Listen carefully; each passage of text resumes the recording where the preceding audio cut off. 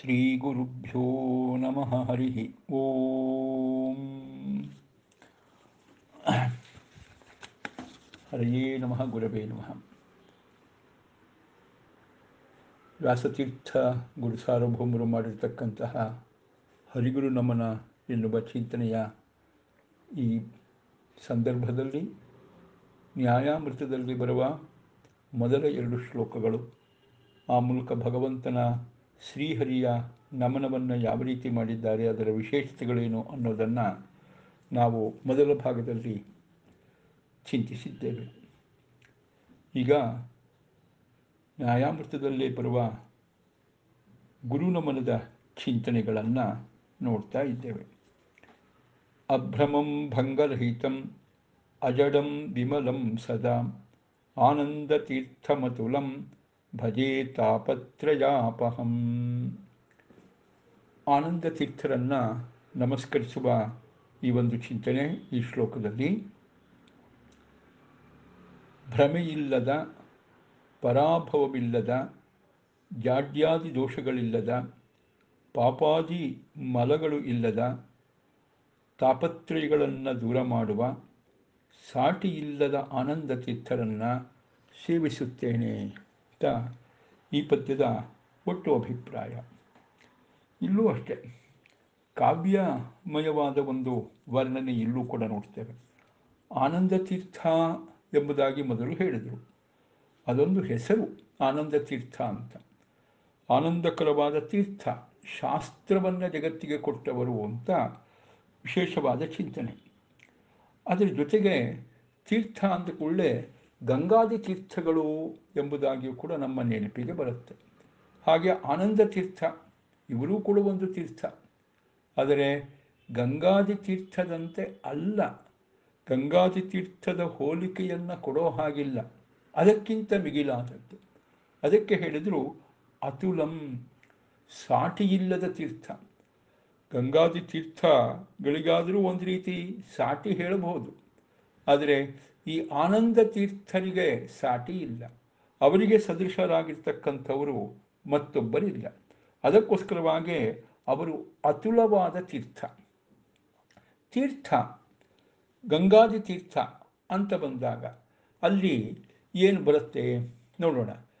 ತೀರ್ಥದಲ್ಲಿ ನಾವು ಗಂಗಾದಿ ತೀರ್ಥವನ್ನು ನೋಡಿದಾಗ ಅಲ್ಲಿ ಭ್ರಮ.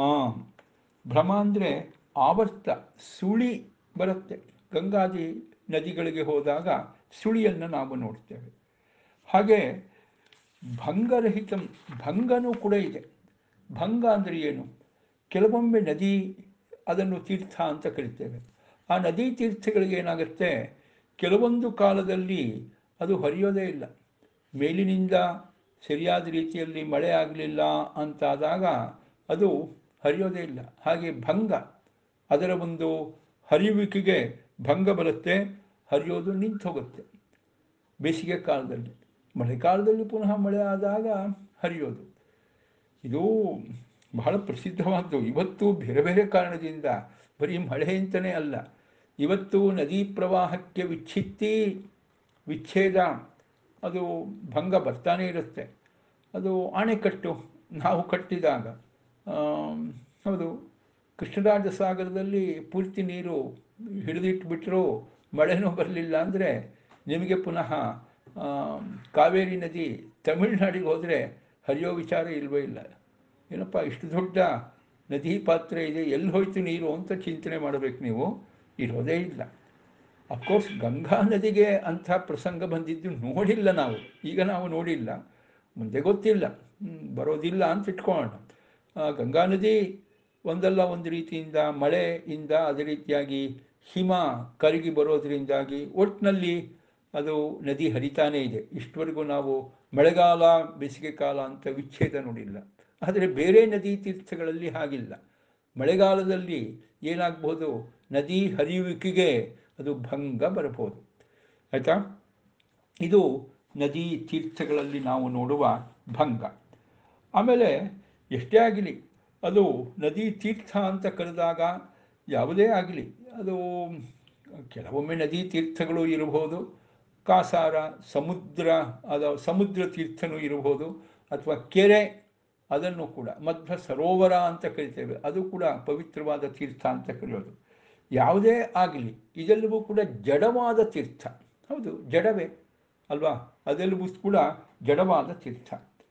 ಆಯಿತಾ? ಮತ್ತು ಈ ತೀರ್ಥದಲ್ಲಿ ನಾವು ಸ್ನಾನ ಮಾಡಿದಾಗ ಬಹಳ ಮುಖ್ಯವಾಗಿ ನಮಗೆ ಹೊರಕ್ಕೆ ಕಾಣುವ ಒಂದು ಅನುಭವ ಅಂತ ಬಂದರೆ ಆದಿಭೌತಿಕವಾದ ಒಂದು ತಾಪ ಪರಿಹಾರ ಆಗುತ್ತೆ. ಬೇಸಿಗೆ ಇದೆ, ಹೋಗಿ ಸ್ನಾನ ಮಾಡಿದ್ವಿ ಅಂದರೆ ಹಾಯ್ ಅಂತ ಅನಿಸುತ್ತೆ ಅಂತ. ಹೌದು, ಆದಿಭೌತಿಕವಾದ ಒಂದು ತೊಂದರೆಯನ್ನು ಪರಿಹಾರ ಮಾಡುತ್ತೆ. ಹೀಗೆ ನಾವು ಯಾವುದನ್ನು ತೀರ್ಥ ಅಂತ ಚಿಂತನೆ ಮಾಡ್ತೇವೆ, ಅದೆಲ್ಲವೂ ಕೂಡ ಜಡವಾದ ತೀರ್ಥಗಳು. ಅದು ನಮಗೆ ಮೇಲಿನ ಬೇಸಿಗೆಯ ಒಂದು ತೊಂದರೆ ಏನಿದೆ ಅಥವಾ ಬೇಗ ಏನಿದೆ ಅದನ್ನು ಪರಿಹರಿಸ್ತಕ್ಕಂಥದ್ದು. ಅದರಲ್ಲಿ ಭ್ರಮ ಅಂತ ಹೇಳಿದಾಗ ವಿಶೇಷವಾಗಿ ಸುಳಿ ಇರುತ್ತೆ. ಹಾಗೆ ಭಂಗ ಅಂತ ಬಂದಾಗ ಆ ಪ್ರವಾಹಕ್ಕೆ ವಿಚ್ಛೇದ, ಅಡೆತಡೆ ಆಗೋದು ಕೂಡ ಉಂಟು. ಇದು ತೀರ್ಥಗಳಲ್ಲಿ ಕಾಣುವ ಒಂದು ಲೋಪದೋಷಗಳು. ಇವರು ಆನಂದ ತೀರ್ಥ, ಮಧ್ವಾಚಾರ್ಯರು ಆನಂದ ತೀರ್ಥ. ಆದರೆ ತೀರ್ಥದಲ್ಲಿ ಕಾಣುವ ಲೋಪದೋಷಗಳು ಇವರಲ್ಲಿ ಇಲ್ಲ. ಇವರಲ್ಲಿ ಭ್ರಮ ಇಲ್ಲ, ಭಂಗವಿಲ್ಲ, ಅದೇ ರೀತಿಯಾಗಿ ಜಡ ಇಲ್ಲ. ಇವರು ಒಂದೇ ತಾಪವನ್ನು ದೂರ ಮಾಡೋರಲ್ಲ. ಜೊತೆಗೆ ಇನ್ನೊಂದು ಬಿಟ್ಟೆ ವಿಮಲ ಅಂತ ಬಂದಾಗ ಯಾವುದೇ ತೀರ್ಥ, ನದಿ ತೀರ್ಥವನ್ನು ತೆಗೆದುಕೊಂಡಾಗ, ಮಳೆಗಾಲ ಬಂದಾಗ ಅದರಲ್ಲಿ ಎಲ್ಲ ಸೇರಿಕೊಳ್ಳುತ್ತೆ. ಮಳೆಗಾಲ ಬಂದಾಗ ಏನಾಗುತ್ತೆ ಅಂತ ಬಂದಾಗ ಕೆಸರು ಕೂಡ ಸೇರಿಕೊಳ್ಳುತ್ತೆ, ಕಶ್ಮಲನೂ ಕೂಡ ಸೇರಿಕೊಳ್ಳುತ್ತೆ, ಹೀಗೆ ತೀರ್ಥದಲ್ಲಿ. ಆದರೆ ಆನಂದ ತೀರ್ಥರಿದ್ದಾರಲ್ಲ, ಇದರಲ್ಲಿ ಈ ಲೋಪದೋಷಗಳು ಇಲ್ಲ, ಈ ಲೋಪದೋಷಗಳು ಇಲ್ಲ. ಆದರೆ ಭ್ರಮ ಇಲ್ಲ ಅಂದರೆ ಇವರು ಆನಂದ ತೀರ್ಥ, ಇವರೇನು ಆ ತೀರ್ಥ ಅಲ್ಲ, ಇವರು ಆನಂದ ತೀರ್ಥ. ಆನಂದ ತೀರ್ಥ ಇದು ಅತುಲ, ಆ ತೀರ್ಥಕ್ಕಿಂತ ಬೇರೆ. ಯಾಕೆ? ಅಂತ ಬಂದಾಗ, ಇವರಲ್ಲೂ ಭ್ರಮ ಇಲ್ಲ ಭ್ರಮ ಇಲ್ಲ ಅಂದರೆ ಸುಳಿ ಇಲ್ಲ ಅಂತ ಹೇಳು ಒಂದರ್ಥ ನದಿ ತೀರ್ಥಕ್ಕೆ ಸಂಬಂಧಪಟ್ಟಂತೆ. ಆನಂದ ತೀರ್ಥರಿಗೆ ಸಂಬಂಧಪಟ್ಟಂತೆ ಭ್ರಮ ಇಲ್ಲ ಅಂದರೆ, ಹೌದು, ಭ್ರಮ, ಭ್ರಮಜ್ಞಾನ, ತಪ್ಪು ತಿಳುವಳಿಕೆ ಅಂತ ಕರಿತೀವಲ್ಲ, ಆ ಭ್ರಮೆ ಇಲ್ಲ ಕನ್ನಡದಲ್ಲಿ ಭ್ರಮೆ ಅಂತಲೇ ಕರಿತೇವೆ. ಆ ಭ್ರಮೆ ಇಲ್ಲ ಆನಂದ ತೀರ್ಥರು ಸರ್ವಜ್ಞರಾದ್ದರಿಂದಾಗಿ ಅವರಿಗೆ ತಪ್ಪು ತಿಳುವಳಿಕೆ, ಭ್ರಮೆ ಇಲ್ಲವೇ ಇಲ್ಲ. ಹೀಗೆ ಅವರು ಅಭ್ರಮ. ಆಮೇಲೆ ಭಂಗರಹಿತಂ, ಭಂಗ ಅಂದರೆ ವಿಚ್ಛೇದ, ಅಡ್ಡಿ ಆತಂಕ, ತೊಂದರೆ ಅಂತ.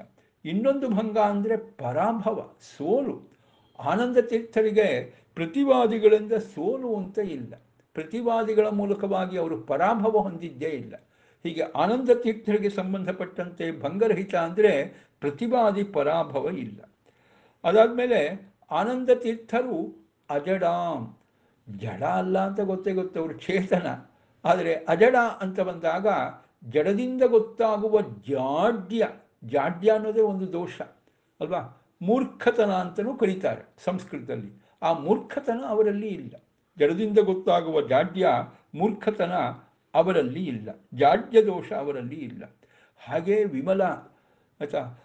ನದಿಗಳಲ್ಲಿ, ಬೇರೆ ತೀರ್ಥಗಳಲ್ಲಿ ಮಲ ಕಂಡು ಬರುತ್ತೆ. ಬೇರೆ ಬೇರೆ ಕಾರಣಗಳಿಂದ. ಅದು ಇವತ್ತು ನಾವು ನದಿ ತೀರ್ಥಗಳನ್ನು ಬೇಕಾದಷ್ಟು ಮಲ ಅದಕ್ಕೆ ಸೇರಿಸ್ತಾನೂ ಇದ್ದೀವಿ. ಆಯಿತಾ? ಅದು ಒಂದು ಹೌದು. ಜೊತೆಗೆ ನದಿ ತೀರ್ಥದಲ್ಲೇನೆ ಮಳೆಗಾಲ ಬಂತು ಅಂತ ಬಂದಾಗ ಕೆಸರು ಬರೋದು ಇದೆಲ್ಲ ಮಲ ಇದ್ದೇ ಇದೆ. ಆದರೆ ಯಾವುದೇ ಮಲ ಇಲ್ಲ. ಮಲ ಶಬ್ದಕ್ಕೆ ಒಂದು ಪಾಪರೂಪವಾದ ಮಲ. ಬೇರೆ ಬೇರೆ ರೀತಿಯಾಗಿರ್ತಕ್ಕಂತಹ ಕಶ್ಮಲ ಕೆಟ್ಟ ಬುದ್ಧಿ ಎಲ್ಲವೂ ಕೂಡ ಆಗುತ್ತೆ. ಇದು ಯಾವುದು ಕೂಡ ಆನಂದ ತೀರ್ಥರಲ್ಲಿ ಇಲ್ಲ. ಹೀಗೆ ವಿಗತ ಮಲ, ಹೀಗಾಗಿ ಅವರು ವಿಮಲ. ಇಂತಹ ಆನಂದ ತೀರ್ಥರು ಆ ಒಂದು ತೀರ್ಥ, ಅದು ಒಂದು ತಾಪವನ್ನು ದೂರ ಮಾಡುತ್ತೆ. ತಾಪತ್ರಯಗಳನ್ನು ದೂರ ಮಾಡಲ್ಲ. ಭೌತಿಕವಾದ ತಾಪ ಏನು ಬರುತ್ತೆ? ಸೂರ್ಯನ ತಾಪ, ಮತ್ತೊಂದು ತಾಪ ಬೇಸಿಗೆ ತಾಪ. ಅಲ್ಲಿ ಸ್ನಾನ ಮಾಡಿದಾಗ ಆ ತಾಪ ದೂರವಾಗುತ್ತೆ. ಆದರೆ ಆನಂದ ತೀರ್ಥರು ಹಾಗಲ್ಲ, ತಾಪತ್ರಯವನ್ನು ದೂರ ಮಾಡ್ತಾರೆ. ಆಧ್ಯಾತ್ಮಿಕ, ಆಧಿಭೌತಿಕ, ಆಧಿದೈವಿಕ ಎನ್ನುವ ಮೂರೂ ತಾಪತ್ರಯಗಳನ್ನು ತಾಪತ್ರಯಗಳನ್ನು, ಮೂರು ತಾಪಗಳನ್ನು, ತಾಪತ್ರಯಗಳನ್ನು ಅಪಹ ದೂರ ಮಾಡ್ತಕ್ಕಂಥವರು ಆನಂದ ತೀರ್ಥರು. ಹೀಗಾಗಿ ಆನಂದ ತೀರ್ಥರು ಬೇರೆ ತೀರ್ಥಕ್ಕಿಂತ ಅತುಲ, ಸಾಟಿ ಇಲ್ಲದವು. ಬೇರೆ ತೀರ್ಥಗಳಲ್ಲಿ ಭ್ರಮ ಇದೆ, ಭಂಗವಿದೆ ಜಡವಾಗಿದೆ, ಅದರಲ್ಲಿ ಮಲವಿದೆ, ಅದು ಒಂದು ತಾಪವನ್ನು ದೂರ ಮಾಡುತ್ತೆ. ಆದರೆ ಅದೆಲ್ಲವೂ ಕೂಡ ಸಂಸ್ಕೃತ ಶಬ್ದಗಳೇ. ಆ ಸಂಸ್ಕೃತ ಶಬ್ದಗಳಿಗೆ ಎರಡೆರಡು ಅರ್ಥವಿದೆ. ಇದೇ ಸೊಗಸು. ಸಂಸ್ಕೃತ ಭಾಷೆಯ ಸೊಗಸೇ ಅದು. ಒಂದೇ ಶಬ್ದಕ್ಕೆ ಎರಡೆರಡು ಅರ್ಥ. ಅದರಲ್ಲಿ ಅದನ್ನು ಜಡವಾದ ತೀರ್ಥ ಅಂತ ತೆಗೆದುಕೊಂಡಾಗ ಭ್ರಮ, ಭಂಗ, ಜಡ, ಅದಕ್ಕೆ ಮಲ ಅದಕ್ಕೆಲ್ಲ ಅರ್ಥವೇ ಬೇರೆ. ಆನಂದ ತೀರ್ಥ ಅಂತ ತೆಗೆದುಕೊಂಡಾಗ ಅದಕ್ಕೆ ಇನ್ನೊಂದು ಅರ್ಥ ಇನ್ನೊಂದು ಅರ್ಥ. ಇಂತಹ ಒಂದು ಚಿಂತನೆಯನ್ನು ಸಂಸ್ಕೃತದ ಕಾವ್ಯ ಪರಿಭಾಷೆಯಲ್ಲಿ ಶ್ಲೇಷಾಲಂಕಾರ, ಒಂದೇ ಶಬ್ದಕ್ಕೆ ಎರಡು ಅರ್ಥವನ್ನು ಹೇಳ್ತಕ್ಕಂಥದ್ದು ಶ್ಲೇಷಾಲಂಕಾರ. ಇನ್ನೊಂದು ರೀತಿಯಿಂದ ಆನಂದ ತೀರ್ಥ ಅಂತ ಬಂದಾಗ ಬೇರೆ ತೀರ್ಥದಂತೆ ಅಲ್ಲ, ಬೇರೆ ತೀರ್ಥಕ್ಕಿಂತಲೂ ಅಧಿಕ ಅಂತ ಹೇಳಿದಾಗ ಇದು ಒಂದೊಂದು ರೀತಿಯಿಂದ ಏನಾಯಿತು? ರೂಪಕಾಲಂಕಾರ, ಅದರಲ್ಲೂ ಕೂಡ ಏನಪ್ಪ ಅಂದರೆ ವಿಶೇಷವಾದ ರೀತಿಯಲ್ಲಿ ಯಾವುದಕ್ಕೆ ಹೋಲಿಕೆ ಯಾವುದನ್ನು ಕೊಡ್ತೀವಿ, ಅದಕ್ಕಿಂತಲೂ ಕೂಡ ಹೋಲಿಕೆಯನ್ನು ಕೊಡ್ತಾ ಇರೋದು ತೀರ್ಥದ ಹೋಲಿಕೆ. ಆ ತೀರ್ಥದ ಹೋಲಿಕೆ ಇಲ್ಲಿ ಉಪಯೋಗವಿಲ್ಲಪ್ಪ. ಅದಕ್ಕಿಂತಲೂ, ಉಪಮಾನಕ್ಕಿಂತಲೂ ಉಪಮೇಯಕ್ಕೆ ಆಧಿಕ್ಯವನ್ನು ಹೋಲಿಕೆ ಯಾವುದಕ್ಕೆ ಕೊಡ್ತೀವೋ ಅದನ್ನು ಉಪಮೇಯ ಅಂತ ಕರೀತಾರೆ. ಅದಕ್ಕೆ ಆಧಿಕ್ಯವನ್ನು ಸೂಚನೆ ಮಾಡತಕ್ಕಂತಹ ಒಂದು ವಿಶಿಷ್ಟವಾದ ಅಲಂಕಾರ ಅಂತ ಹೇಳಿ ಹೀಗೆ ಒಂದು ಕಾವ್ಯದ ಸೊಬಗು ಇಲ್ಲಿ ಬಂದಿದೆ, ಶ್ಲೇಷಾಲಂಕಾರದ ಸೊಬಗು ಕೊಂಡು ಬಂದಿದೆ. ಹೀಗೆ ಇಂತಹ ಒಂದು ವಿಶಿಷ್ಟವಾದ ರೀತಿಯಲ್ಲಿ ಆನಂದ ತೀರ್ಥ ಗುರುಗಳ ಒಂದು ಚಿತ್ರಣವನ್ನು ನಮ್ಮ ಮುಂದೆ ಇಡ್ತಾರೆ. ಬಹಳ ಮುಖ್ಯ, ಒಬ್ಬ ಗುರುವಿನಲ್ಲಿ ಇರಬೇಕಾದ ಗುಣಗಳನ್ನು ಕಾವ್ಯಮಯವಾಗಿ ನಮಗಿಲ್ಲಿ ವ್ಯಾಸರಾಜರು ತಿಳಿಸ್ಕೊಡ್ತಾರೆ. ಒಬ್ಬ ಗುರು ಅಂತ ನಾವು ಅವನ ಬಳಿ ಹೋದಾಗ ಅವನಿಗೆ ಭ್ರಮೆ ಇರಬಾರ್ದು. ತಾನು ತಿಳಿಸಿಕೊಡುವ ವಿಚಾರದಲ್ಲಿ ಭ್ರಮೆ ಇದ್ದರೆ ನಮಗೆ ಅವನೇನು ತಿಳಿಸಿಕೊಡಬಲ್ಲ? ಆಯ್ತಾ? ಮತ್ತೆ ತಾನು ತಿಳಿಸಿಕೊಡಬೇಕಾದ ವಿಚಾರವನ್ನು ತಿಳಿಸಿಕೊಡ್ತಾ ಇದ್ದಾನೆ. ಪರವಾದಿಗಳು ಬಂದಾಗ ಅವನ ಜೊತೆಗೆ ಸೋತು ಹೋದ ಅಂತಾದರೆ ಅವನು ತನ್ನ ವಾದಗಳಲ್ಲಿ ಸೋತು ಹೋಗ್ತಾನೆ ಅಂತಾದರೆ ಜನಸಾಮಾನ್ಯರಿಗೆ ಅವನು ಯಾವ ವಿಚಾರವನ್ನು ತಿಳಿಸ್ತಾನೆ? ಯಾವುದೇ ವಿಚಾರ ಪರವಾದಿಗಳ ಜೊತೆಗೆ ಚರ್ಚೆ ಮಾಡಿದಾಗ, ಅದರಲ್ಲಿ ಗೆಲುವನ್ನು ಸಂಪಾದನೆ ಮಾಡಿದಾಗ ಅಂತಹ ವಿಚಾರಧಾರೆಯನ್ನು ಅವನು ಜನಸಾಮಾನ್ಯರಿಗೂ ಚೆನ್ನಾಗಿ ತಿಳಿಸಿಕೊಡಬಲ್ಲ. ಮತ್ತು ಆ ತತ್ವ ಸ್ಥಾಪಿತವಾಗುತ್ತೆ. ಯಾವತ್ತಷ್ಟೇ ಪರಮತ ನಿರಾಕರಣೆ, ಸ್ವಮತ ಸ್ಥಾಪನೆ ಎರಡೂ ಕೂಡ ಆಗಬೇಕು ಅದಕ್ಕೋಸ್ಕರವಾಗಿ ವಾದಿದಿಗ್ವಿಜಯ ಅದು ಕೂಡ ಬೇಕೇ ಬೇಕು. ಆ ವಾದಿದಿಗ್ವಿಜಯ ಮಾಡಿಕೊಂಡಾಗ ಮಾತ್ರವೇ ತಮ್ಮ ಮತವನ್ನು ಜಗತ್ತಲ್ಲಿ ಸ್ಥಾಪನೆ ಮಾಡಲಿಕ್ಕೆ ಸಾಧ್ಯ. ಒಬ್ಬ ಮತ, ಮತಸ್ಥಾಪಕ ಅಂತ ಅನಿಸಿಕೊಳ್ಳುವವನು. ಅದರಿಂದಾಗಿ ಮತಪ್ರವರ್ತಕ ಆಚಾರ್ಯರಲ್ಲಿ ಆ ವಾದಿ ದಿಗ್ವಿಜಯ ಬೇಕೇ ಬೇಕು. ಅದರಿಂದಾಗಿ ಆ ವಾದಿ ದಿಗ್ವಿಜಯ ಇತ್ತಪ್ಪ. ಅದನ್ನೇ ಹೇಳಿದ್ದು ಭಂಗರಹಿತಂ ಯಾವುದೇ ವಿಧವಾಗಿರ್ತಕ್ಕಂಥ ವಾದಿಗಳ ಜೊತೆಗೆ ಚರ್ಚೆಗೆ ಕೂತಾಗ ಅವರು ಪರಾಭವ ಅನಿಸಿತ್ತು ಅಲ್ಲ. ಅದರ ಜೊತೆಗೆ ಅವರು ಜಡ ಅಲ್ಲ ಜಾಡ್ಯ ಭಾವ ಇರಲಿಲ್ಲ ಅಂತ ಹೇಳೋದು ಒಂದು ರೀತಿಯಿಂದ ಸೋಂಬೇರಿತನ, ಆಲಸ್ಯತನ, ಇದು ಕೂಡ ಜಾಡ್ಯವೇ. ಅದು ಇರಲಿಲ್ಲ. ಆಚಾರ್ಯರು ಬೆಳಿಗ್ಗೆ ಬೇಗನೆ ಎದ್ದು ನಾಲ್ಕು ಗಂಟೆಗೆ ಅಂತ ಹೇಳಿದ್ರೆ ರಾತ್ರಿವರೆಗೂ ಬೇರೆ ಬೇರೆ ಬೇರೆ ಬೇರೆ ಕಾರ್ಯಕ್ರಮಗಳಲ್ಲಿ ಹಮ್ಮಿಕೊಂಡವರೇ. ಯಾವತ್ತೂ ಉದಾಸೀನ ಭಾವದಿಂದ ಇದ್ದವರೆಲ್ಲ, ಮಲಗಿದವರೇ ಇಲ್ಲ, ರಾತ್ರಿ ಮಾತ್ರವೇ ಅವರು ವಿಶ್ರಾಂತಿ ಪಡಿತಾ ಇದ್ದದ್ದು ಅನ್ನೋದನ್ನು ಅವರ ಕಥೆ, ಅವರ ಬದುಕಿನ ಕಥೆಯನ್ನು ತಿಳಿಸಿಕೊಡುವ ನಾರಾಯಣ ಪಂಡಿತಾಚಾರ್ಯರ ಮಧ್ವಿಜಯದಲ್ಲಿ ನಾವು ನೋಡ್ತೇವೆ. ಇಡೀ ಒಂದು ಸರ್ಗದಲ್ಲಿ ಅವರ ದಿನಚರಿಯನ್ನು ಸಂಗ್ರಹ ಮಾಡಿ ಸುಂದರವಾಗಿ ನಮ್ಮ ಮುಂದೆ ಇಟ್ಟಿದ್ದಾರೆ ನಾರಾಯಣ ಪಂಡಿತಾಚಾರ್ಯರು. ಅಲ್ಲಿ ಅವರ ಜಾಡ್ಯವಿಲ್ಲದ ಅವರ ಒಂದು ದಿನಚರಿಯನ್ನು ಸೋಂಬೇರಿತನ ಆಲಸ್ಯವಿಲ್ಲದ ಅವರ ದಿನಚರಿಯನ್ನು ತಿಳಿಸಿಕೊಟ್ಟಿದ್ದಾರೆ. ಆಯಿತಾ? ಇದು ವಿಶೇಷವಾಗಿ ಒಬ್ಬ ಮತಾಚಾರ್ಯನಲ್ಲಿ ಒಂದು ರೀತಿ ಒಂದು ಸಮುದಾಯವನ್ನು, ಗುಂಪನ್ನು ಯಾರು ಮುಂದುವರಿಸ್ಕೊಂಡು ಹೋಗ್ತಾರೋ, ಲೀಡ್ ಮಾಡ್ತಾರೋ, ಆಯಿತಾ? ಅಂತಹ ನಾಯಕನಲ್ಲಿ ಇರಬೇಕಾದ ಗುಣಗಳು. ಅದು ಮಧ್ವಾಚಾರ್ಯರಲ್ಲಿತ್ತು, ಗುರುಗಳಲ್ಲಿ ಇತ್ತು. ಅದೇ ರೀತಿಯಾಗಿ ಯಾವುದೇ ಒಬ್ಬ ವ್ಯಕ್ತಿ ಅವನು ಪಾಪದ ಕರ್ಮವನ್ನು ಮಾಡಿದ್ದಾನೆ ಅಂದರೆ ಅದು ಅವನು ಮಾಡುವ ಉಪದೇಶದಲ್ಲೂ ಕಂಡು ಬಂದುಬಿಡುತ್ತೆ. ಅವನ ಬದುಕಿನಲ್ಲೂ ಅದು ಕಂಡು ಬರುತ್ತೆ. ಅದರಿಂದಾಗಿ ಒಬ್ಬ ಮತಾಚಾರ್ಯ, ಮತಪ್ರವರ್ತಕ ಅಂತ ಹೇಳಿಸಿದವನು ಯಾರನ್ನು ನಾವು ಚಿಂತನೆ ಮಾಡ್ತೀವೋ, ಒಪ್ಪಿಕೊಳ್ತೀವೋ ಅವನಲ್ಲಿ ಆ ಮಲ, ಲೋಪದೋಷಗಳು ಇರಬಾರ್ದು. ಪಾಪ, ಪಾಪದ ಸಂಬಂಧದಿಂದ ಬರುವ ಬೇರೆ ಬೇರೆ ದೈಹಿಕವಾದ, ಮಾನಸಿಕವಾದ ತೊಂದರೆಗಳು ಯಾವುದು ಕೂಡ ಇರಬಾರ್ದು. ಇದು ನಾವು ಒಬ್ಬ ಗುರುವಿನಲ್ಲಿ ಇಷ್ಟಪಡ್ತಕ್ಕಂಥ ವಿಚಾರ. ಅದನ್ನು ಆಚಾರ್ಯರು ಹೊಂದಿದ್ದರು ವಿಮಲಂ. ಮತ್ತು ಬಹಳ ಮೌತಿಕವಾಗಿ ಒಬ್ಬ ಗುರುವಿನ ಹತ್ತಿರ ನಾವು ಹೋಗೋದು ನಮ್ಮ ಎಲ್ಲ ವಿಧವಾದ ತಾಪಗಳು ಪರಿಹಾರವಾಗಲಿ ಅಂತ. ಹೀಗೆ ಅವರು ಎಲ್ಲ ತಾಪಗಳನ್ನು ಕೂಡ ಪರಿಹಾರ ಮಾಡುವ ತೀರ್ಥ, ಆನಂದ ತೀರ್ಥ, ವಿಶೇಷವಾಗಿ ಅಸದೃಶ ಅಂತ ಹೇಳಿದ್ದು ಈ ಕಾರಣದಿಂದ ಬೇರೆ ಎಲ್ಲ ತೀರ್ಥ ನಾವು ಸ್ನಾನ ಮಾಡಿದರೆ ಅಥವಾ ಒಂದು ರೀತಿಯಿಂದ ಪಾಪ ಪರಿಹಾರ. ವಿಶೇಷವಾದ ಅನುಸಂಧಾನ ಚಿಂತನೆ ಇಟ್ಟುಕೊಂಡು ಸ್ನಾನ ಮಾಡಿದರೆ ಅಲ್ಲಿ ಮನೋದೋಷದ ಪರಿಹಾರ ಮನೋದೋಷದ ಪರಿಹಾರ. ಇಷ್ಟು ವಿಚಾರ ಹೇಳ್ತಾರೆ. ಆದರೆ ಆನಂದ ತೀರ್ಥರು ಅಷ್ಟೇ ಅಲ್ಲ, ಸಂಸಾರದ ದೋಷಗಳನ್ನೇ ಪರಿಹಾರ ಮಾಡುವ ಒಂದು ವಿಶಿಷ್ಟವಾದ ತೀರ್ಥ ಆನಂದ ತೀರ್ಥ. ಸಂಸಾರದ ದೋಷಗಳನ್ನು ಪರಿಹಾರ ಮಾಡುವ ಆನಂದ ತೀರ್ಥ ಮತ್ತು ಮೋಕ್ಷಕ್ಕೆ ಕಾರಣವಾದ ಶಾಸ್ತ್ರವನ್ನು ಕೊಡುವ ತೀರ್ಥ ಆನಂದ ತೀರ್ಥ. ಆನಂದಕರಂ ತೀರ್ಥಂ ಶಾಸ್ತ್ರಂ ಯಸ್ಮಾತ್ ಸಹ. ಆನಂದಕರವಾದ ತೀರ್ಥ ಅಂದರೆ ಶಾಸ್ತ್ರ. ಅದನ್ನು ಕೊಟ್ಟ ಆನಂದ ತೀರ್ಥ. ಬೇರೆ ತೀರ್ಥಗಳಂತೆ ಅಲ್ಲ.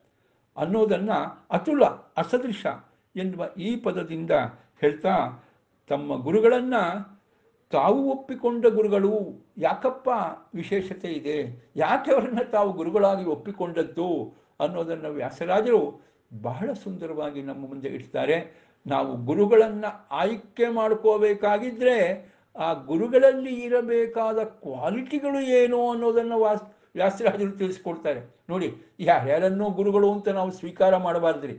ಆ ಗುರುಗಳಲ್ಲಿ ಇರಬೇಕಾದ ಕ್ವಾಲಿಟಿ ಏನು? ಅವರು ಅಭ್ರಮರಾಗಿರಬೇಕು, ಭಂಗರಹಿತರಾಗಿರಬೇಕು, ಅಜಡರಾಗಿರಬೇಕು, ವಿಮಲರಾಗಿರಬೇಕು, ತಾಪತ್ರಯ ದೂರ ಮಾಡುವವರಾಗಿರಬೇಕು, ಅಸದೃಶರಾಗಿರಬೇಕು. ಹೀಗೆ ಗುರುಗಳಲ್ಲಿ ಇರಬೇಕಾದ ಗುಣಧರ್ಮಗಳು ಅದನ್ನು ಬಹಳ ಸುಂದರವಾಗಿ ಹೇಳ್ತಾ ಇರ್ತಾರೆ. ಹೀಗೆ ಒಂದು ವಿಶಿಷ್ಟವಾದ ಸಂಸ್ಕೃತದ ಶ್ಲೇಷ ಮೂಲಕವಾದ ಅಲಂಕಾರದಿಂದ ಈ ಒಂದು ಸುಂದರ ಚಿಂತನೆಯನ್ನು ಕೊಡ್ತಾ ಆಚಾರ್ಯರು ಯಾವ ರೀತಿ ತೀರ್ಥರಾಗಿದ್ದಾರೆ ತೀರ್ಥಕ್ಕೂ ಮಿಗಿಲಾಗಿದ್ದಾರೆ ಅನ್ನೋದನ್ನು ಬಹಳ ಸುಂದರವಾಗಿ ಇಲ್ಲಿ ತಿಳಿಸಿಕೊಳ್ತಾ ಗುರುವಂದನೆಯನ್ನು ಮಾಡಿದ್ದಾರೆ. ಅದಾದ ಮೇಲೆ ಆ ಪರಂಪರೆಯಲ್ಲಿ ಬಹಳ ಮುಖ್ಯರಾದವರು ಟೀಕಾಚಾರ್ಯರು, ಟೀಕಾಕೃತ್ಪಾದರು. ಜೈತೀರ್ಥ ಗುರು ಸಾರ್ವಭೌಮರು ಅಂತಲೂ ಕರೀತೇವೆ. ಅವರನ್ನು ಚಿಂತನೆ ಮಾಡೋ ಸಂದರ್ಭದಲ್ಲಿ ವಿಶೇಷ ಅವರಿಗಿಂತಲೂ ಅವರ ಮಾತನ್ನು ನೆನೀತಾ ಇದ್ದಾರೆ. ಅವರ ಮಾತನ್ನು ಸ್ಮರಣೆ ಮಾಡ್ತಾರೆ ವ್ಯಾಸರಾಜರು. ಯಾಕೆಂದರೆ ನಮ್ಮಲ್ಲಿ ಗುರುಗಳು ಮುಖ್ಯ. ಗುರುಗಳು ಕೊಡುವ ಮಾತು ಬಹಳ ಮುಖ್ಯ. ಗುರುಗಳ ಉಪದೇಶನೂ ಬಹಳ ಮುಖ್ಯ.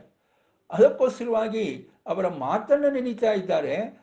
ಆ ಮಾತನ್ನು ನೆನೆಯೋದರ ಉದ್ದೇಶ ತಮ್ಮ ಗ್ರಂಥದಲ್ಲಿ ಬರುವ ಮುಂದಿನ ಮಾತುಗಳು ಕೂಡ ಆ ಗುರುಗಳ ಅನುಗ್ರಹದಿಂದ ಒಳ್ಳೆಯ ಮಾತುಗಳಾಗಲಿ ಅನ್ನೋದು ಅವರ ಒಂದು ಅಭಿಪ್ರಾಯ. ಅದಕ್ಕೋಸ್ಕರವಾಗಿ ಆ ಗುರುಗಳ ಮಾತು ಜಯತೀರ್ಥ ಗುರುಸಾರೋಹಮರ ಮಾತು ಹೇಗಿತ್ತು?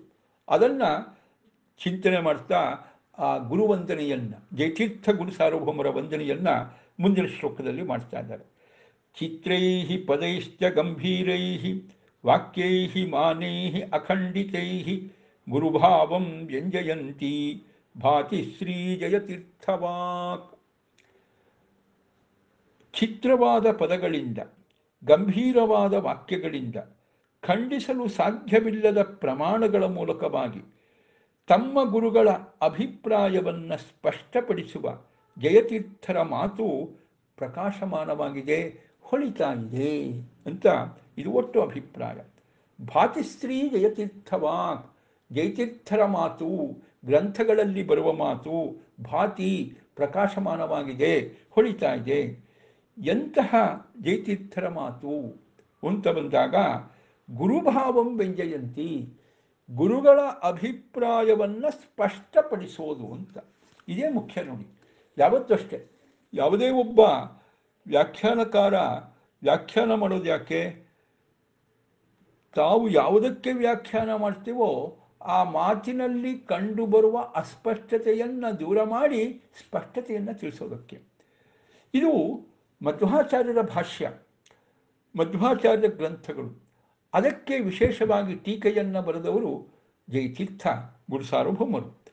ಅಲ್ಲಿ ಮಧ್ವಾಚಾರ್ಯರ ವಾಕ್ಯ ಅಂತ ಬಂದಾಗ ಅದು ಬಾಲಸಂಘಮಪಿ ಬೋಧಯದೃಶಂ ದುರ್ನಿರೂಪ ವಚನಂಚ ಪಂಡಿತೈ ಅಂತ ನಾರಾಯಣ ಪಂಡಿತಾಚಾರ್ಯರು ಅದನ್ನು ವರ್ಣನೆ ಮಾಡ್ತಾರೆ.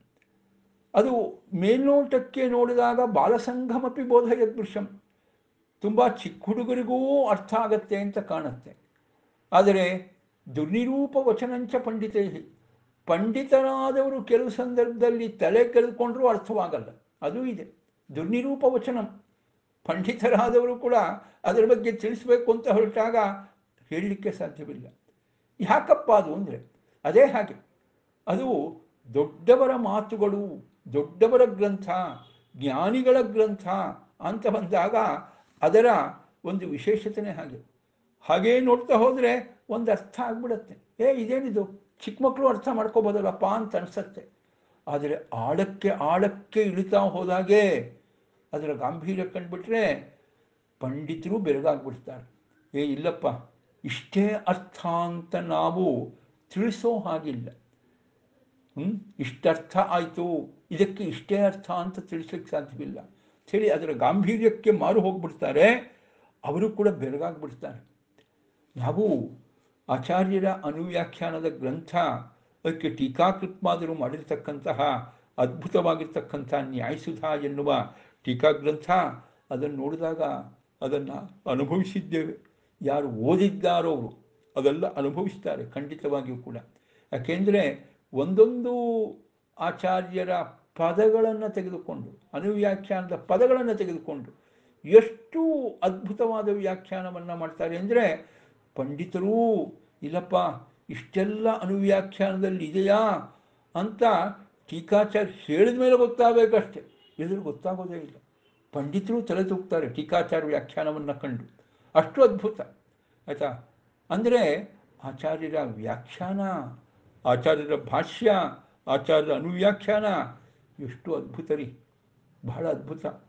ಅದರಿಂದ ಅದನ್ನು ಪ್ರಕಟಪಡಿಸೋದೇ ಬಹಳ ಕಷ್ಟದ ವಿಚಾರ.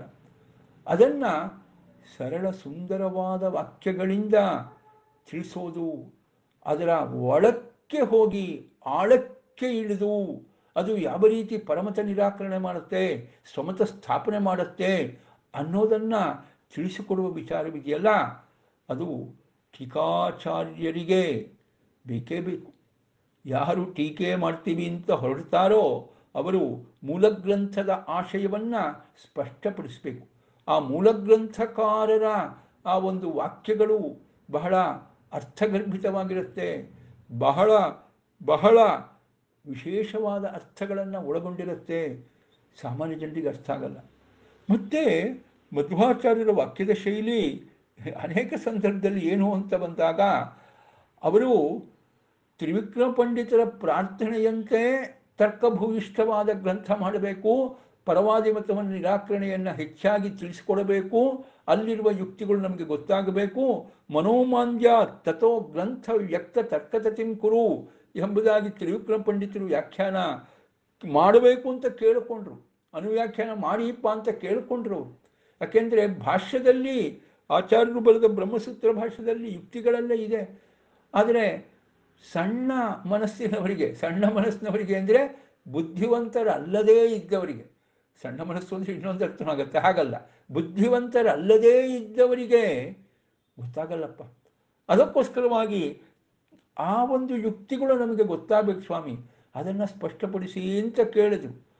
ಅದಕ್ಕೆ ಅವರು ವಿಸ್ತಾರ ಮಾಡಿದ್ದು ವಿಸ್ತಾರ ಮಾಡಿದ್ದು. ಆದರೆ ಆ ವಿಸ್ತಾರ ಮಾಡಿದ ಆ ತರ್ಕದ ತತಿ ಜನಸಾಮಾನ್ಯರಿಗೆ ಗೊತ್ತಾಗಲಿಲ್ಲ. ಜನಸಾಮಾನ್ಯರಿಗೆ ಗೊತ್ತಾಗಲಿಲ್ಲ. ಅದನ್ನು ಗೊತ್ತು ಮಾಡಿಸೋದಕ್ಕೋಸ್ಕರವಾಗಿ ಟೀಕಾಚಾರ್ಯರು ಬಂದದ್ದು. ತಮ್ಮ ನ್ಯಾಯಸುಧಾ ಗ್ರಂಥವನ್ನು ಬರೆದದ್ದು. ಈಗ ಬರೀ ನ್ಯಾಯಸುಧಾ ಗ್ರಂಥ ಅಂತ ಅಷ್ಟೇ ಅಲ್ಲ, ಆಚಾರ್ಯರ ಬೇರೆ ಬೇರೆ ಗ್ರಂಥಗಳಿಗೆ ವ್ಯಾಖ್ಯಾನವನ್ನು ಕೂಡ ಬಹಳ ಸುಂದರವಾಗಿ ಬರೆದಿದ್ದಾರೆ. ಟೀಕಾ ಕಿಪ್ಪಾದರೂ ಅನುವ್ಯಾಖ್ಯಾನ ಅಂತ ಅಷ್ಟೇ ಅಲ್ಲ, ದಶಪ್ರಕರಣಗಳ ವ್ಯಾಖ್ಯಾನ ಇರಬಹುದು. ಆಯಿತಾ? ಎಲ್ಲವೂ ಕೂಡ ಬಹಳ ಸುಂದರವಾಗಿರ್ತಕ್ಕಂಥದ್ದು. ಆಚಾರ್ಯರ ಆ ಒಂದು ಮೂಲ ಕೃತಿಯ ಸೊಬಗನ್ನು ನಮಗೆ ಎಷ್ಟು ಚೆನ್ನಾಗಿ ತಿಳಿಸಿಕೊಟ್ಟಿದ್ದಾರೆ. ಸರಳವಾದ ವಾಕ್ಯಗಳು, ಸುಂದರವಾದ ವಾಕ್ಯಗಳು ತೀರ್ಥರ ಆ ಒಂದು ನ್ಯಾಯ ಸಿದ್ಧಾಂತ ಬಂದಾಗ ಅದೂ ಒಂದು ರೀತಿಯಿಂದ. ಏನು ಅಂತ ಬಂದರೆ ಕಾವ್ಯ ಇದ್ದ ಹಾಗೆ, ಕಾವ್ಯಕ್ಕೇನು ಕಡಿಮೆ ಇಲ್ಲ, ಅಲ್ಲೂ ಕೂಡ ಆ ಮಾತಿನ ಓಘ, ವಾಕ್ಯಗಳ ರಚನೆ ಎಲ್ಲೂ ಕೂಡ ಬಹಳ ಖುಷಿ ಕೊಡ್ತಕ್ಕಂಥದ್ದು. ಹೀಗೆ ಗುರುಭಾವಂ ವ್ಯಂಜಯಂತಿ ಗುರುಗಳ ಭಾವ, ಅಭಿಪ್ರಾಯ ಅದನ್ನು ತಿಳಿಸೋದು. ಮತ್ತು ಗುರೋಹ ಗುರುಭಾವಂ, ಗುರುಗಳ ಗಾಂಭೀರ್ಯದಿಂದ ಗುರುವಾದ ಭಾವ. ಅಲ್ಲಿ ಅಭಿಪ್ರಾಯಗಳಂತೆ ಅದು ಕೂಡ ಗುರು, ಅದು ಕೂಡ ಎತ್ತರದ ಅಭಿಪ್ರಾಯಗಳು. ಒಳಹೊಕ್ಕಿದೆ, ಅದೆಲ್ಲವೂ ಕೂಡ ಅಡಕವಾಗಿದೆ. ಅದನ್ನು ತಿಳಿಸಿಕೊಡೋದು. ಗುರುಗಳ ಗಾಂಭೀರ್ಯಯುಕ್ತವಾದ ಮಾತಿನ ಆ ಗಂಭೀರತೆಯನ್ನು ತಿಳಿಸೋದು. ಅದು ಕೂಡ ಗುರುಭಾವ. ಗುರುಗಳ ಭಾವ, ಗುರುಗಳ ಗುರುಭಾವ. ಅವರ ವಾಕ್ಯದಲ್ಲಿರುವ ಗುರುಭಾವ, ಆ ಗೌರವ ಅದನ್ನು ತಿಳಿಸಿಕೊಡೋದು ಗಾಂಭೀರ್ಯವನ್ನು ತಿಳಿಸ್ಕೊಳ್ಳೋದು ಅದನ್ನು ತುಂಬ ಚೆನ್ನಾಗಿ ಮಾಡಿದ್ದಾರೆ ಅದು ಒಬ್ಬ ಮೂಲ ಕೃತಿಕಾರನ ಒಂದು ಗ್ರಂಥಗಳಿಗೆ ವ್ಯಾಖ್ಯಾನ ಮಾಡಬೇಕಾಗಿದ್ರೆ, ಬಹಳ ಮುಖ್ಯವಾಗಿ ಇರಬೇಕಾದ ಆ ವ್ಯಾಖ್ಯಾನದ ಗುಣ ಅಂದರೆ ಗುರುಭಾವಂ ವ್ಯಂಜಯಂತಿ. ಗುರುಗಳ ಮಾತನ್ನು ನಮಗೆ ಸ್ಪಷ್ಟವಾಗಿ ತಿಳಿಸ್ಕೊಡ್ಬೇಕು, ಅದರ ಗಾಂಭೀರ್ಯವನ್ನು ನಮಗೆ ಅರ್ಥ ಮಾಡಿಸ್ಬೇಕು. ಅದನ್ನು ತುಂಬ ಚೆನ್ನಾಗಿ ಮಾಡಿದವರು ಟೀಕಾಕೃತ್ಪಾದರು. ಅಂತಹ ಟೀಕಾಕೃತ್ಪಾದರ ಮಾತು. ಹೇಗೆ ಮಾಡಿದರು ಅಂತ ವಿಚಾರ. ಅದಕ್ಕೆ ಹೇಳಿರ್ತಕ್ಕಂಥದ್ದು ಮುಂದಿನ ಮೂರು ಪದಗಳು. ಚಿತ್ರೈ ಪದೈ ಗಂಭೀರೈ ವಾಕ್ಯೈ ಅಖಂಡಿತೈ ಮಾನೈ ಅಂತ ಹೇಳಿದರು. ಚಿತ್ರವಾದ ಪದಗಳ ಮೂಲಕ ಮತ್ತು ಚಿತ್ರೈ ಪದೈ ಗಂಭೀರೈ ವಾಕ್ಯೈ ಅಖಂಡಿತೈ ಮಾನೈ ಇದು ಮೂರು ವಿಶೇಷವಾಗಿ ಕೊಟ್ಟರು.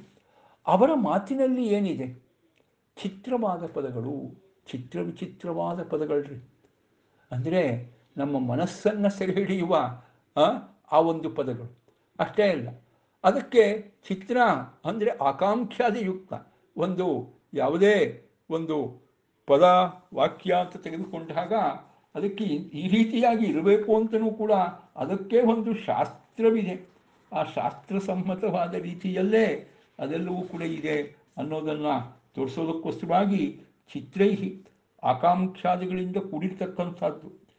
ಹಾಗೆಯೇ ಗಂಭೀರೈಹಿ ವಾಕ್ಯೈಹಿ, ಗಂಭೀರವಾದ ವಾಕ್ಯ ಅಂದರೆ ಅಸ್ಪಷ್ಟಪ್ಪ ಗೊತ್ತಾಗಲ್ಲ. ಎಷ್ಟೋ ಸಂದರ್ಭದಲ್ಲಿ ಟೀಕಾರಾಯರ ಟೀಕೆ ನೋಡಿದ ಮೇಲೆ ನಮಗೆ ಆಚಾರ್ಯರ ವಾಕ್ಯಗಳ ಅರ್ಥ ಆಗತ್ತೆ ಇಲ್ಲದೆ ತಿರಾಗಲ್ಲ ಗಂಭೀರ. ಬೇಕಾದಷ್ಟು ಅರ್ಥಗಳು ಅದು ತುಂಬಿಕೊಂಡಾಗ ಅದು ಗಂಭೀರವಾಗಿರುತ್ತೆ. ಹೀಗೆ ಗಂಭೀರ ಅಂದರೆ ಅಸ್ಪಷ್ಟ, ಗೊತ್ತಾಗೋದಿಲ್ಲ. ಮತ್ತು ಅಖಂಡಿತೈ ಹಿಮಾನೇಹಿ ಮತ್ತು ಆಚಾರ್ಯರ ಮಾತುಗಳನ್ನು ಆಚಾರ್ಯರು ಪ್ರಮಾಣ ಕೊಟ್ಟು ಸಮರ್ಥನೆ ಮಾಡಿರ್ತಾರೆ. ಅದರ ಮೇಲೆ ಪುನಃ ಏನೇನೋ ಲೋಪದೋಷಗಳನ್ನು ಉದ್ಭಾವನೆ ಮಾಡಿರ್ತಾರೆ ಪರವಾದಿಗಳು. ಅದನ್ನು ನಿರಾಕರಣೆ ಮಾಡೋ ಸಂದರ್ಭದಲ್ಲಿ ಟೀಕಾಚಾರ್ಯರು ಪುನಃ ಮತ್ತಷ್ಟು ಪ್ರಮಾಣಗಳನ್ನು ಕೊಡ್ತಾರೆ. ಆ ಪ್ರಮಾಣಗಳು ಅಖಂಡಿತೈಹಿ. ಅವರು ಕೊಡುವ ಪ್ರಮಾಣಗಳು ಏನಿದೆ? ಖಂಡನೆ ಮಾಡಲಿಕ್ಕೆ ಸಾಧ್ಯವೇ ಇಲ್ಲ. ಖಂಡನೆ ಮಾಡಲಿಕ್ಕೆ ಸಾಧ್ಯವಿಲ್ಲ. ಹೀಗೆ ಅಖಂಡಿತೈಹಿ ಮಾನೇಹಿ. ಆಚಾರ್ಯರ ಮಾತುಗಳು, ಆಚಾರ್ಯರು ಕೊಡುವ, ಮಧ್ವಾಚಾರ್ಯರು ಕೊಡುವ ಪ್ರಮಾಣಗಳು ಕೂಡ ಅಖಂಡಿತೈಹಿ. ಖಂಡಿತವಾಗಿಯೂ ಖಂಡನೆ ಮಾಡಲಿಕ್ಕೆ ಸಾಧ್ಯವಿಲ್ಲ. ಆದರೂ ಅದಕ್ಕೆ ಬೇರೆ ಬೇರೆ ಅರ್ಥವನ್ನು ಹೇಳಿ ಖಂಡನೆ ಮಾಡಲಿಕ್ಕೆ ಅಂತ ಹೊರಟ್ರೆ, ಪುನಃ ಆ ಆಚಾರ್ಯರು ತೋರಿಸಿರ್ತಕ್ಕಂಥ ಪ್ರಮಾಣಗಳು ಕೂಡ ಯಾವ ರೀತಿ ಅಖಂಡಿತ ಖಂಡನ ಮಾಡಲಿಕ್ಕೆ ಸಾಧ್ಯವಿಲ್ಲ. ಆಚಾರ್ಯರು ಹೇಳಿದ ಅರ್ಥವನ್ನೇ ಆ ಪ್ರಮಾಣ ಶ್ಲೋಕಗಳಿಗೆ ಹೇಳಬೇಕು, ಪ್ರಮಾಣದ ವಾಕ್ಯಗಳಿಗೆ ಹೇಳಬೇಕು. ಬೇರೆ ರೀತಿ ಅಲ್ಲ. ಇದೆಲ್ಲವನ್ನ ತೋರಿಸಿಕೊಟ್ಟವರು ಜಯತೀರ್ಥ ಗುರುಸಾರ್ವಭೌಮರು ಹೀಗೆ ಚಿತ್ರವಾದ ಪದಗಳಿಂದ, ಗಂಭೀರವಾದ ಮಾ ವಾಕ್ಯಗಳಿಂದ ಖಂಡಿಸಲು ಸಾಧ್ಯವಿಲ್ಲದ ಪ್ರಮಾಣಗಳನ್ನು ಉದಾಹರಿಸುವುದರ ಮೂಲಕವಾಗಿ ಗುರುಭಾವಂ ವಿಜಯಂತಿ. ಸೊ ಗುರುಗಳ ಮಾತನ್ನು ಸ್ಪಷ್ಟಪಡಿಸಬೇಕಾಗಿದ್ದರೆ ಹೇಗೆ ಸ್ಪಷ್ಟಪಡಿಸಿದರು? ಈ ಮೂಲಕವಾಗಿ. ಚಿತ್ರವಾದ ಪದಗಳ ಮೂಲಕವಾಗಿ ಗುರುಭಾವವನ್ನು ಸ್ಪಷ್ಟಪಡಿಸೋದು, ಗಂಭೀರವಾದ ಮಾತುಗಳ ಮೂಲಕವಾಗಿ ಗುರುಭಾವವನ್ನು ಸ್ಪಷ್ಟಪಡಿಸೋದು, ಖಂಡಿಸಲು ಸಾಧ್ಯವಿಲ್ಲದ ಮಾ, ಯಾವುದು ಪ್ರಮಾಣಗಳನ್ನು ಉದಾಹರಿಸಿ ಗುರುಭಾವವನ್ನು ಸ್ಪಷ್ಟಪಡಿಸೋದು. ಹೀಗೆ ಬಹಳ ವಿಶಿಷ್ಟವಾದ ಒಂದು ಶೈಲಿಯಲ್ಲಿ ಗುರುಭಾವವನ್ನು ಸ್ಪಷ್ಟಪಡಿಸಿದ ಆ ಜಯತೀರ್ಥರ ಮಾತು ಪ್ರಕಾಶಮಾನವಾಗಿದೆ, ರಾರಾಜಿಸ್ತಾ ಇದೆ, ಕಂಗೊಳಿಸ್ತಾ ಇದೆ ಅಂತ ಹೇಳಿ ಜಯತೀರ್ಥರ ಶ್ಲಾಘನೆ ಅಂದರೆ ಅವರು ಕೊಟ್ಟ ಮಾತಿನ ಶ್ಲಾಘನೆ. ಅವರು ಕೊಟ್ಟ ಮಾತಿನ ಶ್ಲಾಘನೆ ಮೂಲಕವಾಗಿ ಜಯತೀರ್ಥರ ಶ್ಲಾಘನೆ, ಆ ಮೂಲಕವಾಗಿ ಜಯತೀರ್ಥ ಗುರುಗಳನ್ನು ನಮಿಸ್ತಾ ಇದ್ದಾರೆ. ಇದೊಂದು ಅಪರೂಪದ ರೀತಿಯಿಂದ ನಮಸ್ಕಾರ. ಗುರುಗಳಿಗೆ ನಮಸ್ಕಾರ ಅಂದರೆ ಗುರುಗಳು ಏನೋ ಅವರ ಗುಣಗಳು ಏನು ಅಂತ. ಇಲ್ಲೇ ಹಾಗಲ್ಲ ಗುರುಗಳ ಗುಣ ಅಂದರೆ ಅವರು ಕೊಟ್ಟ ಕೃತಿಯ ಮೂಲಕವಾಗಿ ಗುರುಗಳ ಗುಣ ಚಿಂತನೆ. ಅವರು ಕೊಟ್ಟ ಕೃತಿಗಳ ಮೂಲಕವಾಗಿ ಅವರ ಗುಣಗಳ ಚಿಂತನೆ. ಅವರ ಕೊಟ್ಟ ಕೃತಿ ಅಂದರೆ ಅವರ ಮಾತುಗಳು, ಆ ಗ್ರಂಥದ ಮಾತುಗಳು, ಅದು ಹೇಗಪ್ಪ ಇದೆ ಅನ್ನೋದನ್ನು ತೋರಿಸಿಕೊಡ್ತಾ ಗುರುಗಳ ಒಂದು ವಿಶೇಷವಾಗಿ ಟೀಕಾಚಾರ್ಯರ ಒಂದು ವಿಶಿಷ್ಟವಾದ ನಮಸ್ಕಾರವನ್ನು, ಗುರು ನಮನವನ್ನು ಇಲ್ಲಿ ಮಾಡ್ತಾ ಇದ್ದಾರೆ. ಅದಾದ ಮೇಲೆ ತಮ್ಮ ಗುರುಗಳು, ಆಶ್ರಮ ಕೊಟ್ಟ ಗುರುಗಳು, ವಿದ್ಯಾ ಗುರುಗಳು ಇಬ್ಬರು ಬರ್ತಾರೆ. ಆಶ್ರಮ ಕೊಟ್ಟ ಗುರುಗಳು ಬ್ರಹ್ಮಣ್ಯ ಭಾಸ್ಕರರು, ಬ್ರಹ್ಮಣ್ಯ ತೀರ್ಥರು. ವಿದ್ಯಾಭ್ಯಾಸವನ್ನು ಮಾಡಿಸಿಕೊಟ್ಟಿರ್ತಕ್ಕಂಥ ವಿದ್ಯಾಭ್ಯಾಸ ಮಾಡಿಸ್, ಮಾಡಿದ ಗುರುಗಳು. ಯಾರು? ವಿದ್ಯಾಭ್ಯಾಸ ಯಾರ ಕೈಲಿ ಮಾಡಿದರು? ಲಕ್ಷ್ಮೀನಾರಾಯಣ ಮುನಿಗಳು. ಅವರಿಬ್ಬರನ್ನು ಕೂಡ ಮುಂದೆ ನಮಸ್ಕಾರ ಮಾಡ್ತಾ ಇದ್ದಾರೆ ಮುಂದಿನ ಗುರುವಂದನದಲ್ಲಿ. ಅದರಲ್ಲಿ ಬ್ರಹ್ಮಣ್ಯ ತೀರ್ಥರನ್ನ ಕುರಿತು ವಿಶೇಷವಾದ ನಮನ ಸಮುತ್ಸಾರ್ಯ ತಮಸ್ತೋಮಂ ಸನ್ಮಾರ್ಗಂ ಸಂಪ್ರಕಾಶ್ಯ ಚ ಸದಾ ವಿಷ್ಣುಪದಾಸಕ್ತಂ ಸೇವೆ ಬ್ರಹ್ಮಣ್ಯ ಭಾಸ್ಕರಂ.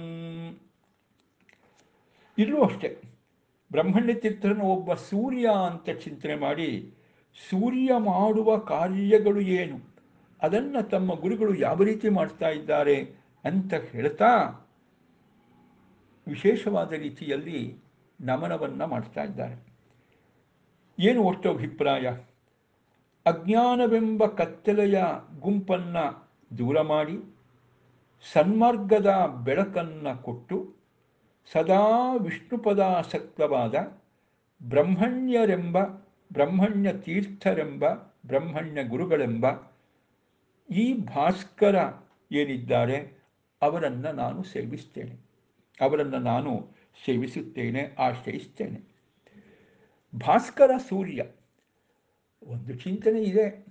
ನಮ್ಮಲ್ಲಿ ಒಬ್ಬೊಬ್ಬ ಗುರುಗಳನ್ನು ಇಂಥವರ ಅವತಾರ ಅಂತ ಹೇಳುವ ಒಂದು ಚಿಂತನೆಯೂ ಇದೆ. ಇಲ್ಲ ಅಂತಲ್ಲ. ಅದು ಅವರ ಶಿಷ್ಯರಿಗೆ, ಜ್ಞಾನಿಗಳಾದವರಿಗೆ ಅವರು ಕಂಡುಕೊಂಡಿರ್ತಕ್ಕಂಥ ವಿಚಾರವನ್ನು ಅವರು ದಾಖಲಿಸಿದ್ದಾರೆ. ಹಾಗೆ ಬ್ರಹ್ಮಣ್ಯ ಮುನಿಗಳು ಭಾಸ್ಕರರ ಸೂರ್ಯನ ಅವತಾರ ಅನ್ನುವ ಒಂದು ಚಿಂತನೆ ಇದೆ. ಇಲ್ಲ ಅಂತಲ್ಲ. ಅದನ್ನು ಸೇರಿಸಿಕೊಂಡಿದ್ದಾರೆ. ಹೇಳಬಹುದು, ತಪ್ಪೇನಿಲ್ಲ. ಬ್ರಹ್ಮಣ್ಯ ಭಾಸ್ಕರಂ ಬ್ರಹ್ಮಣ್ಯ ತೀರ್ಥರೆಂಬ ಭಾಸ್ಕರ ಭಾಸ್ಕರ ಅಂದರೆ ಸೂರ್ಯ. ಸೂರ್ಯ ಏನು ಮಾಡ್ತಾನಪ್ಪ? ಕತ್ತಲೆಯನ್ನು ದೂರ ಮಾಡ್ತಾನೆ. ಬೆಳಕನ್ನು ತೋರ್ತಾನೆ. ಆ ಬೆಳಕು ತೋರಿದಾಗ ನಮಗೆ ಒಳ್ಳೆಯ ರೀತಿಯಲ್ಲಿ ದಾರಿಯಲ್ಲಿ ಹೋಗ್ಬೋದು. ಕತ್ತಲೆ ಇದೆ, ದಾರಿಯಲ್ಲಿ ಹೋಗ್ಲಿಕ್ಕಾಗಲ್ಲ.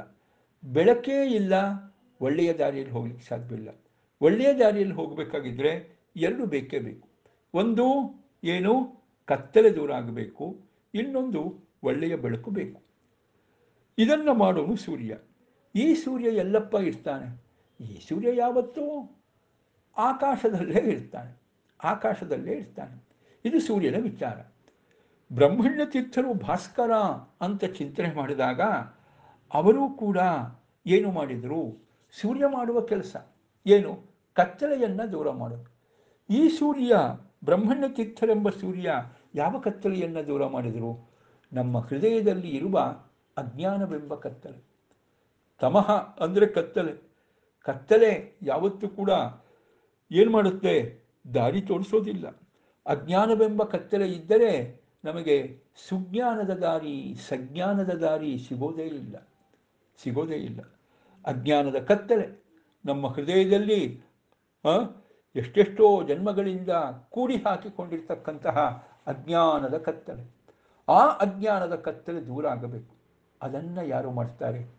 ಈ ಸೂರ್ಯ ಮಾಡ್ತಾರೆ. ಬ್ರಹ್ಮಣ್ಯ ಭಾಸ್ಕರ ನಮ್ಮ ಹೃದಯದ ಒಳಗಡೆ ಇರುವ ಅಜ್ಞಾನದ ಕತ್ತಲೆಯನ್ನು ದೂರ ಮಾಡ್ತಾರೆ. ಬರೀ ಅಜ್ಞಾನ ದೂರ ಹೋದರೆ ಸಾಲದು. ಮತ್ತೇನಾಗಬೇಕು? ಸುಜ್ಞಾನನೂ ಕೂಡ ನಮಗೆ ಬೇಕು. ಅಂದರೆ ಜ್ಞಾನದ ಬೆಳಕು ಬೇಕು. ತತ್ವಜ್ಞಾನದ ಬೆಳಕು ಬೇಕು. ಯಥಾರ್ಥ ಜ್ಞಾನದ ಬೆಳಕು ಬೇಕು. ಅದೇ ನಮಗೆ ಒಳ್ಳೆಯ ದಾರಿಯಲ್ಲಿ ಹೋಗಲಿಕ್ಕೆ ಪ್ರೇರಣೆ. ಸನ್ಮಾರ್ಗಂ ಸಂಪ್ರಕಾಶ್ಯಕ ಸನ್ಮಾರ್ಗಂ ಸಂಪ್ರಕಾಶ್ಯಕ ತಮಸ್ತೋಮಂ ಸಮುತ್ಸಾರ್ಯ. ಸಮುತ್ಸಾರ್ಯ ತಮಸ್ತೋಮಂ. ತಮಸ್ಸಿನ ಒಂದು ಸ್ತೋಮ, ಕತ್ತಲೆಯ ಒಂದು ರಾಶಿ. ಯಾವ ಕತ್ತಲೆಯ ರಾಶಿ? ಅಜ್ಞಾನವೆಂಬ ಕತ್ತಲೆಯ ರಾಶಿ. ಅದನ್ನು ಸಮುತ್ಸಾರ್ಯ, ಪೂರ್ಣವಾಗಿ ಪರಿಹರಿಸಿ. ಸೂರ್ಯ ಉದಿಸಿದ, ಮೋಡಗಳು ಇಲ್ಲ ಅಂತಾದರೆ ಎಲ್ಲ ಕಡೆಯಲ್ಲೂ ಕತ್ತಲೆ ಇರೋ ಕತ್ತೆಲ್ಲ ದೂರ ಹೊರಟೋಯ್ತು. ಏನೂ ಇಲ್ಲ. ಕತ್ತಲೆ ಪೂರ್ತಿ ಮಂಗಮಾಯ. ಇಲ್ಲವೇ ಇಲ್ಲ. ಹಾಗೆ ಬ್ರಹ್ಮಣ್ಯ ಗುರುಗಳು ಅನುಗ್ರಹ ಮಾಡಿದ್ರು ಅಂದರೆ ನಮ್ಮ ಹೃದಯದಲ್ಲಿ ಹೆಪ್ಪು ಕೊಟ್ಟಿದ್ದ ಅಜ್ಞಾನವೆಂಬ ಕತ್ತಲೆಯ ರಾಶಿ ಸಮುತ್ಸರಣ ಪೂರ್ತಿ ಪರಿಹಾರ ಮಾಡಿಬಿಡ್ತಾರೆ. ಅಜ್ಞಾನ ಕತ್ತಲೆ ಇರಲೇಬಾರದು ನಮ್ಮ ಹೃದಯದಲ್ಲಿ. ಅಷ್ಟು ದೂರ ಮಾಡಿಬಿಡ್ತಾರೆ. ಅಷ್ಟೇ ಅಲ್ಲ, ಸನ್ಮಾರ್ಗಂ ಸಂಪ್ರಕಾಶ ಸನ್ಮಾರ್ಗವನ್ನು ಸನ್ಮಾರ್ಗ ಅಂದರೆ ಏನು? ಒಂದರ್ಥ ಒಳ್ಳೆಯ ದಾರಿ ಅಂತ. ಯಾವುದಪ್ಪ ಒಳ್ಳೆಯ ದಾರಿ? ಸಾಧಕನಾದವನಿಗೆ ಒಳ್ಳೆಯ ದಾರಿ ಅಂದ್ರೇನು ದೇವರ ಹತ್ತಿರ ಹೋಗುವ ದಾರಿನೇ ಒಳ್ಳೆಯ ದಾರಿ. ಯಾರು ದೇವರು ಅಂದರೆ? ದೇವರು ಅಂದರೆ ಸತು. ದೇವರನ್ನು ಕರೆಯೋದು ಯಾವ ಶಬ್ದದಿಂದ? ಸತು ಅಂತ ಕರೀತಾರೆ. ಸತ್ ಅಂದರೆ ಏನು? ಆಚಾರ್ಯರು ತಮ್ಮ ಗ್ರಂಥಗಳಲ್ಲಿ ತುಂಬ ಅರ್ಥ ಬರೀತಾರೆ. ಬಹಳ ಮುಖ್ಯವಾಗಿ ಸತ್ ಅಂದರೆ ಏನು? ಸತ್ ಅಂದರೆ ಯಾರು ಸದ್ಗುಣ ಪರಿಪೂರ್ಣನೋ ಅವನು ಸತು. ಸತು ಅಂದರೆ ಮೂಲತಃ ಒಳ್ಳೆಯವನು ಅಂತ. ಒಳ್ಳೆಯವನು ಅಂದರೆ ಯಾರು? ಗುಣಗಳಿಂದ ತುಂಬಿದವನು. ಆಮೇಲೆ ಇನ್ನೊಂದು ಸತ್ತು ಅಂದರೆ ನಿರ್ದೋಷ, ದೋಷರಹಿತ. ಸದ್ಗುಣಗಳಿಂದ ತುಂಬಿದವನಾಗಿ ದೋಷರಹಿತನಾದವನು ಯಾರೋ ಅವನು ಸತ್ತು ಅಂತಹ ಸತ್ತು ಅಂದರೆ ಯಾರು? ದೇವರೇ. ಅದು ನಿಖಿಲ ಗುಣ ನಿಕಾಯಂ ನಿತ್ಯ ನಿರ್ಧೂತ ಹೇಯಂ ಅಂತ ಮೊದಲನೇ ಮಂಗಲಾಚರಣೆಯಲ್ಲಿ ವ್ಯಾಸರಾಜರು ಹೇಳಿದ ಹಾಗೆ ಸತ್ ಅಂದರೆ ಯಾರು? ಸಕಲ ಗುಣ ಪರಿಪೂರ್ಣನಾಗಿ ಸರ್ವದೋಷ ವಿಧೂರನಾಗಿರ್ತಕ್ಕಂಥ ಭಗವಂತನೇ ಸತ್. ಅವನ ಕಡೆಗೆ ಹೋಗುವ ದಾರಿನೇ ಸನ್ಮಾರ್ಗ.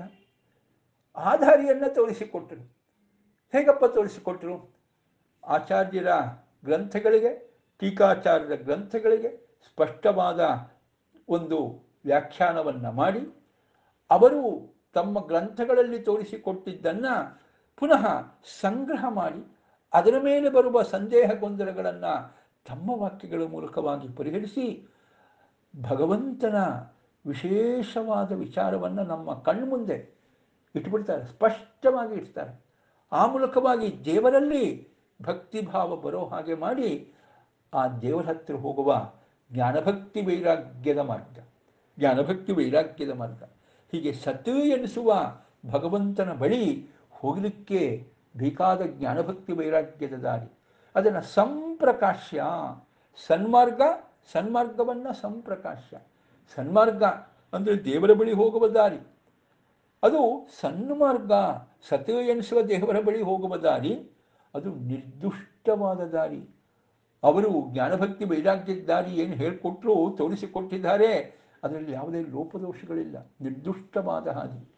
ಅದನ್ನು ಸಂಪ್ರಕಾಶ ಬರೀ ಪ್ರಕಾಶ ಮಾಡಿದ್ದಲ್ಲ, ಸಂಪ್ರಕಾಶ, ಚೆನ್ನಾಗಿ ಸ್ಪಷ್ಟವಾಗಿ ಪಾಮರ ಜನರೂ ತಿಳ್ಕೊಳ್ಳೋ ಹಾಗೆ, ಪಾಮರ ಜನರಿಗೂ ತಿಳ್ಕೊಳ್ಳೋ ಹಾಗೆ, ಸಂಪ್ರಕಾಶ, ಚೆನ್ನಾಗಿ ಪ್ರಕಾಶಮಾನ ಮಾಡಿದವರು ಚೆನ್ನಾಗಿ ತಿಳಿಸಿಕೊಟ್ಟವರು. ಮತ್ತೆ ಸತಂದ್ರೆ ಸದ್ವಾವ ವಾಯು ಮತ್ತೊಂದು ಕಡೆಯಲ್ಲಿ ಉಪನಿಷತ್ನ ಹೇಳ್ತಾರೆ ಸತಂದ್ರೆ ವಾಯುದೇವರು. ವಾಯುದೇವರ ದಾರಿ ಅಂತ. ದೇವರ ಹತ್ರ ಹೋಗೋ ದಾರಿ ಯಾವುದು?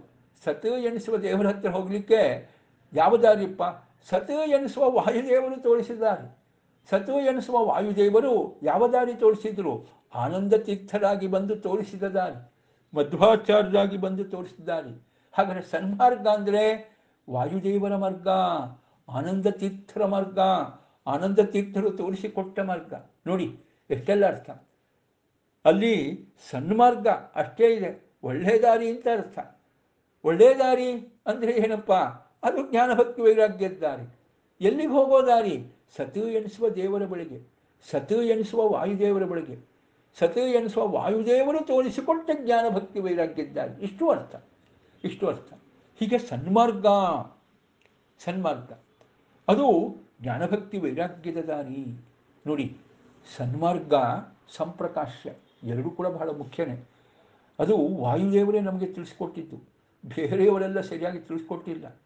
ನೋಡಿ, ಎಲ್ಲೋ ಕಡೆಯಲ್ಲಿ ಭಾಗವತಾದ ಶಾಸ್ತ್ರ ಓದಿದಾಗ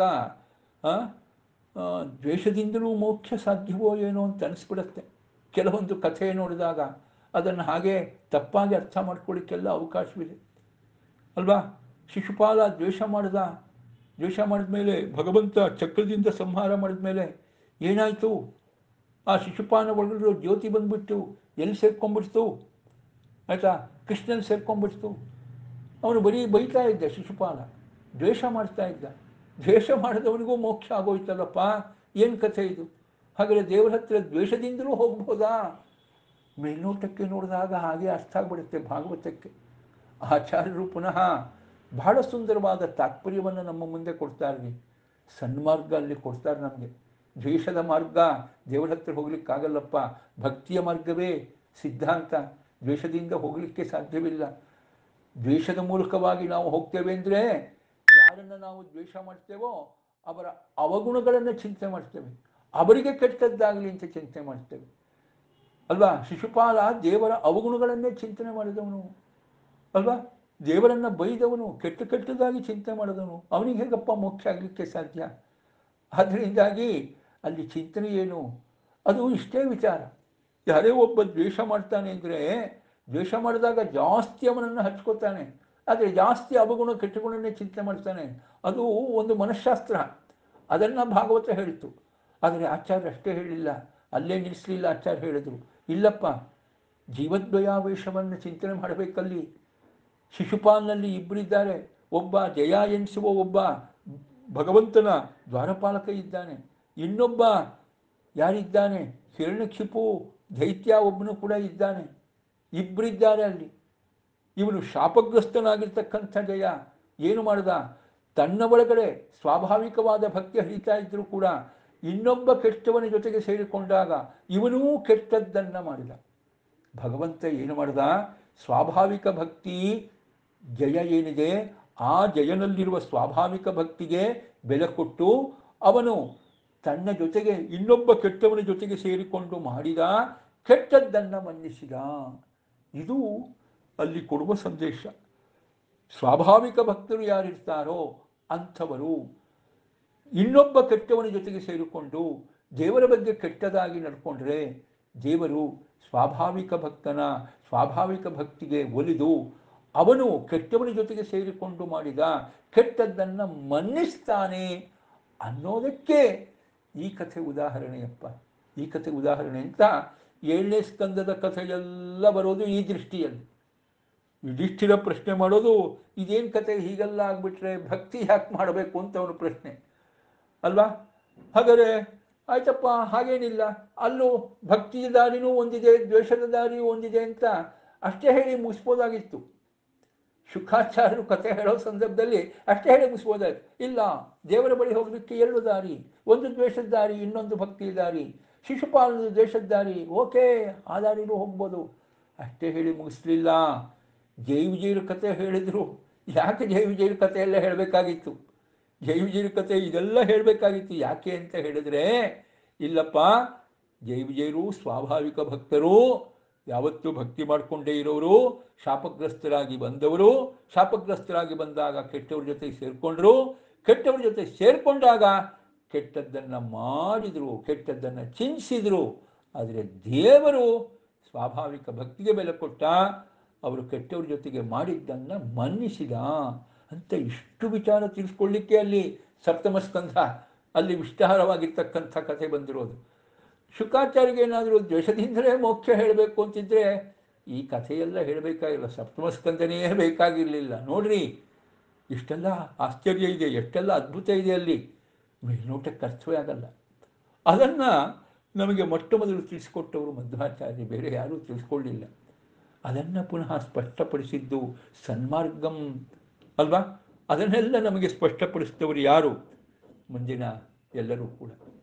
ಅಲ್ವಾ? ಮುಂದಿನ ಎಲ್ಲರೂ ಕೂಡ ನಮಗೆ ಆಚಾರ್ಯರು, ಟೀಕಾಚಾರ್ಯರಾಗಲಿ, ಅದೇ ರೀತಿಯಾಗಿ ಅಥವಾ ವ್ಯಾಸರಾಜ ಹೋಮರಾಗಲಿ ಇದಕ್ಕೆ ಬೆಲೆಯಪ್ಪ, ದೇಶಕ್ಕೆ ಬೆಲೆ ಇಲ್ಲ ಮತ್ತು ಭಕ್ತಿಗೆ ಬೆಲೆ, ಭಕ್ತಿ ಸಿದ್ಧಾಂತ ಅದನ್ನೇ ಚಿಂತನೆ ಮಾಡಬೇಕು ಅನ್ನೋದನ್ನು ತೋರಿಸಿಕೊಟ್ಟವರು ಹೀಗೆ ಸನ್ಮಾರ್ಗಂ ಸಂಪ್ರಕಾಶ್ಯ ಸನ್ಮಾರ್ಗವನ್ನು ಸಂಪ್ರಕಾಶ್ಯ ಚೆನ್ನಾಗಿ ಸ್ಪಷ್ಟಪಡಿಸಿದವರು.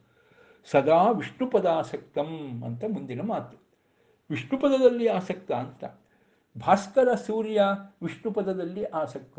ವಿಷ್ಣುಪದ ಅಂದರೆ ವಿಯದ್ ವಿಷ್ಣುಪದಂಬಾಪಿ ಅಂತ ಕೋಶದ ಪ್ರಕಾರ ವಿಷ್ಣುಪದ ಅಂದರೆ ಆಕಾಶ ಅಂತಲೇ ಒಂದರ್ಥ ಆಕಾಶ ಅಂತಲೇ ಒಂದರ್ಥ ಆಕಾಶದಲ್ಲಿ ಇರ್ತಾನೆ. ಸೂರ್ಯ ಯಾವತ್ತೂ ಕೂಡ ಆಕಾಶದಲ್ಲೇ ಇರ್ತಾನೆ. ಈ ಬ್ರಹ್ಮಣ್ಯ ತೀರ್ಥರೆಂಬ ಸೂರ್ಯನೂ ಕೂಡ ವಿಷ್ಣು ಪದಾಸಕ್ತ ಇಲ್ಲಿ ವಿಷ್ಣು ಪದ ಅಂದರೆ ಇನ್ನೊಂದು ಅರ್ಥ. ವಿಷ್ಣೋಹ ಪದಂ ವಿಷ್ಣು ಪದಂ. ಶ್ರೀ ವಿಷ್ಣುವಿನ ಪದ ಅದರಲ್ಲಿ ಆಸಕ್ತ. ಭಗವಂತನ ಚಿಂತನೆಯನ್ನೇ ಮಾಡ್ತಾ ಇರ್ತಾರೆ ಯಾರು? ಬ್ರಹ್ಮಣ್ಯ ತೀರ್ಥರೆಂಬ ಭಾಸ್ಕರ ಯಾವತ್ತೂ ವಿಷ್ಣು ಪದಾಸಕ್ತ ವಿಷ್ಣು ಪದದಲ್ಲೇ ಆಸಕ್ತ. ಯಾಕೆ? ಇದು ವಿಚಾರ ಅಂತ ಬಂದಾಗ ಸೂರ್ಯ ಅಂತ ಬಂದಾಗ ಸೂರ್ಯನ ಹೋಲಿಕೆ ಕೊಟ್ಟಾಗ ಇಷ್ಟೆಲ್ಲ ಇರಬೇಕು ಅಂತ ಹೇಳಿದರು. ಸೂರ್ಯ ವಿಷ್ಣುಪದಲ್ಲೇ ಇರ್ತಾನೆ, ಆಕಾಶದಲ್ಲೇ ಇರ್ತಾನೆ ಅಂತ ಹೇಳಿ ಇಲ್ಲೂ ಹೇಳಿದ್ದು ಆದರೆ ಇಲ್ಲಿ ವಿಷ್ಣುಪದ ಶ್ಲೇಷದ ಮೂಲಕವಾಗಿ ನಾವು ಚಿಂತೆ ಮಾಡಬೇಕಾದ್ದು ವಿಷ್ಣೋಹ ಪದಂ ವಿಷ್ಣು ಪದಂ ಅಂತ ಬಂದಾಗ ಯಾವುದು? ಭಗವಂತನ ಪದದಲ್ಲಿ ಯಾವತ್ತೂ ಆಸಕ್ತ. ಯಾಕದನ್ನು ವಿಶೇಷವಾಗಿ ಹೇಳ್ತಾರೆ ಅಂದರೆ ಅವರು ಮಾಡಿದ ಈ ಕಾರ್ಯ ಅಂದರೆ ಅಜ್ಞಾನವೆಂಬ ಕತ್ತಲೆಯನ್ನು ದೂರ ಮಾಡೋದು ಆ ಸನ್ಮಾರ್ಗವನ್ನು ಚೆನ್ನಾಗಿ ತೋರಿಸಿದ್ದು ಕೂಡ ಹೇಗೆ ಅಂದರೆ ಭಗವಂತನ ಪದದಲ್ಲಿ ಆಸಕ್ತರಾದ ಕಾರಣದಿಂದ, ಮುಖ್ಯವಾಗಿ ಅದು ಕಾರಣ. ನಾವು ಯಾವತ್ತೂ ಅಷ್ಟೇ ಗುರುಗಳಲ್ಲಿ ಏನೇ ಚಿಂತೆ ಮಾಡಬೇಕಾದರೂ ಗುರುಗಳಿಗೂ ದೇವರ ಅನುಗ್ರಹ ಚೆನ್ನಾಗಿ ಇದ್ದಾಗ ಆಗೋದು. ಅಲ್ವಾ? ಗುರುಗಳು ತಾವೇ ತಾವಾಗಿ ಸ್ವತಂತ್ರರಾಗಿ ಮಾಡೋ ವಿಚಾರವಲ್ಲ. ಗುರುಗಳಲ್ಲೂ ಏನಿರುತ್ತಪ್ಪ? ದೇವರ ಅನುಗ್ರಹ. ಯಾಕಿರುತ್ತೆ? ದೇವರನ್ನೇ ಚಿಂತೆ ಮಾಡ್ತಾ ಇರ್ತಾರೆ. ಹೀಗೆ ವಿಷ್ಣುವಿನ ಪದದಲ್ಲೇ ಯಾವತ್ತೂ ಆಸಕ್ತರು. ಅದಕ್ಕೋಸ್ಕರವಾಗಿ ಸದಾ ಪದ ಹಾಕಿದ್ರಲ್ಲಿ ಸದಾ ವಿಷ್ಣು ಪದಾಸಕ್ತಂ ನೋಡಿ, ಯಾವತ್ತೂ ವಿಷ್ಣು ಪದದಲ್ಲೇ ಆಸಕ್ತ. ಯಾವತ್ತೂ ವಿಷ್ಣು ಪದದಲ್ಲೇ ಆಸಕ್ತ. ಭಗವಂತನ ಚಿಂತನೆ ಮಾಡ್ತಾ ಇರೋದು ಅಂತ. ಅದಕ್ಕೆ ವ್ಯಾಖ್ಯಾನಕಾರ ಬರೀತಾರೆ ಅತ್ಯಶಕ್ಯೇತು ನಿದ್ರಾದವು ಅಂತ. ನೀನು ಸಾಧ್ಯವೇ ಇಲ್ಲಪ್ಪ, ನಿದ್ರೆ ಬರ್ತಾ ಇದೆ, ನಾವು ಬೀಳ್ತಾ ಇದ್ದೀವಿ ಅಂತಿದ್ರೆ ನಿದ್ರೆ ಮಾಡಬೇಕಷ್ಟೆ. ಅದು ಬಿಟ್ಬಿಟ್ರೆ ನಿದ್ರೆ ಕಂಪಲ್ಸರಿ ಅಂತ ಶಾಸ್ತ್ರ ವಿಧಾನ ಮಾಡಲ್ಲ. ದೇವರ ಸ್ಮರಣೆ ಯಾವತ್ತೂ ಕಂಪಲ್ಸರಿ ಅಂತ ಶಾಸ್ತ್ರ ವಿಧಾನ ಮಾಡುತ್ತೆ. ಅಥವಾ ಸ್ಮರ್ತವ್ಯ ಸತ್ತಂ ವಿಷ್ಣು ವಿಸ್ಮರ್ತವ್ಯೋ ನಜಾಚಿತ್ ಅದು ಶಾಸ್ತ್ರ ವಿಧಾನ ಮಾಡುತ್ತೆ. ಆದರೆ ನಿದ್ರೆ ಬಂತಲ್ಲಪ್ಪ ಅಂದರೆ ಮಾಡಲೇಬೇಕು ಅಂತ ಹೇಳೋದು ಇಲ್ಲಪ್ಪ, ಸಾಧ್ಯವೇ ಇಲ್ಲ. ದೇಹಕ್ಕೆ ಆಯಾಸ ಆಗಿದೆ, ಮನಸ್ಸಿಗೆ ಆಗಿದೆ ನಿದ್ದೆ ಬಂದ ಆಯಿತು, ಮಲಗಿಬಿಡು. ಆದರೆ ಎದ್ದು ಕೂಡಲೇ ಏನು ಮಾಡು? ಪುನಃ ಭಗವಂತನ ಸ್ಮರಣೆ ಮಾಡು. ಅದಕ್ಕೋಸ್ಕರವಾಗಿ ಸದಾ ಭಗವಂತನ ಸ್ಮರಣೆ ಮಾಡ್ತಾನೇ ಇರಬೇಕು ಅಂತ ಶಾಸ್ತ್ರ ಹೇಳೋದು. ಅದನ್ನು ಪರಿಪಾಲಿಸಿಕೊಂಡು ಬಂದಿರತಕ್ಕಂಥ ಗುರುಗಳು ಯಾರು? ಬ್ರಹ್ಮಣ್ಯ ಭಾಸ್ಕರು. ಆದ್ದರಿಂದಲೇ ಅವರು ಅಜ್ಞಾನವನ್ನು, ಭಕ್ತರ ಅಜ್ಞಾನವನ್ನು ದೂರ ಮಾಡುವ, ಶಿಷ್ಯರ ಅಜ್ಞಾನವನ್ನು ದೂರ ಮಾಡುವ, ಶಿಷ್ಯರಿಗೆ ಒಳ್ಳೆಯ ಮಾರ್ಗವನ್ನು ತೋರಿಸುವ ಆ ಶಕ್ತಿ ಸಾಮರ್ಥ್ಯವನ್ನು ಅವರು ಪಡೆದದ್ದು ಈ ಕಾರಣಗಳಿಂದ. ಈ ಕಾರಣಗಳಿಂದ. ಸದಾ ವಿಷ್ಣು ಪದಾಸಕ್ತಂ ಸೇವೆ ಬ್ರಹ್ಮಣ್ಯ ಭಾಸ್ಕರಂ. ಹೌದು, ವಿಶೇಷವಾಗಿ ಆಶ್ರಮ ಕೊಟ್ಟ ಗುರುಗಳನ್ನು ಗ್ರಂಥಾರಂಭದಲ್ಲಿ ಅವರು ತಮಗೆ ಬರಬಹುದಾದ ಅಜ್ಞಾನದ ಕತ್ತಲೆ ದೂರವಾಗಲಿ ಗ್ರಂಥದ ರಚನೆ ಪ್ರಾರಂಭ ಮಾಡಿದಾಗ ಅಜ್ಞಾನ ದೂರ ಆಗಬೇಕು, ಸನ್ಮಾರ್ಗ ಪ್ರದರ್ಶನ ಆಗಬೇಕು. ಅದಕ್ಕೋಸ್ಕರವಾಗಿ ಬ್ರಹ್ಮಣ್ಯ ಗುರುಗಳನ್ನು, ಅವರ ಅಂತರ್ಯಾಮಿಯಾದ ಆನಂದ ತೀರ್ಥರನ್ನು, ಅವರ ಅಂತರ್ಯಾಮಿಯಾದ ಭಗವಂತನ ಯಾವತ್ತೂ ಅಷ್ಟೇ, ಈ ಗುರುಗಳ ಸ್ತೋತ್ರ ಅಂತ ಬಂದಾಗ ನಮಗೆ ಚಿಂತನೆಯಲ್ಲಿ ಅದು ಗುರುಸ್ತೋತ್ರವೂ ಹೌದು, ಹರಿಸ್ತೋತ್ರವೂ ಹೌದು. ಎರಡೂ ಹೌದು, ಎರಡೂ ಕೂಡ ಹೌದು. ಹಾಗೆ ಚಿಂತನೆ ಮಾಡಬೇಕು. ಮುಂದೆ ವಿದ್ಯಾಗುರುಗಳು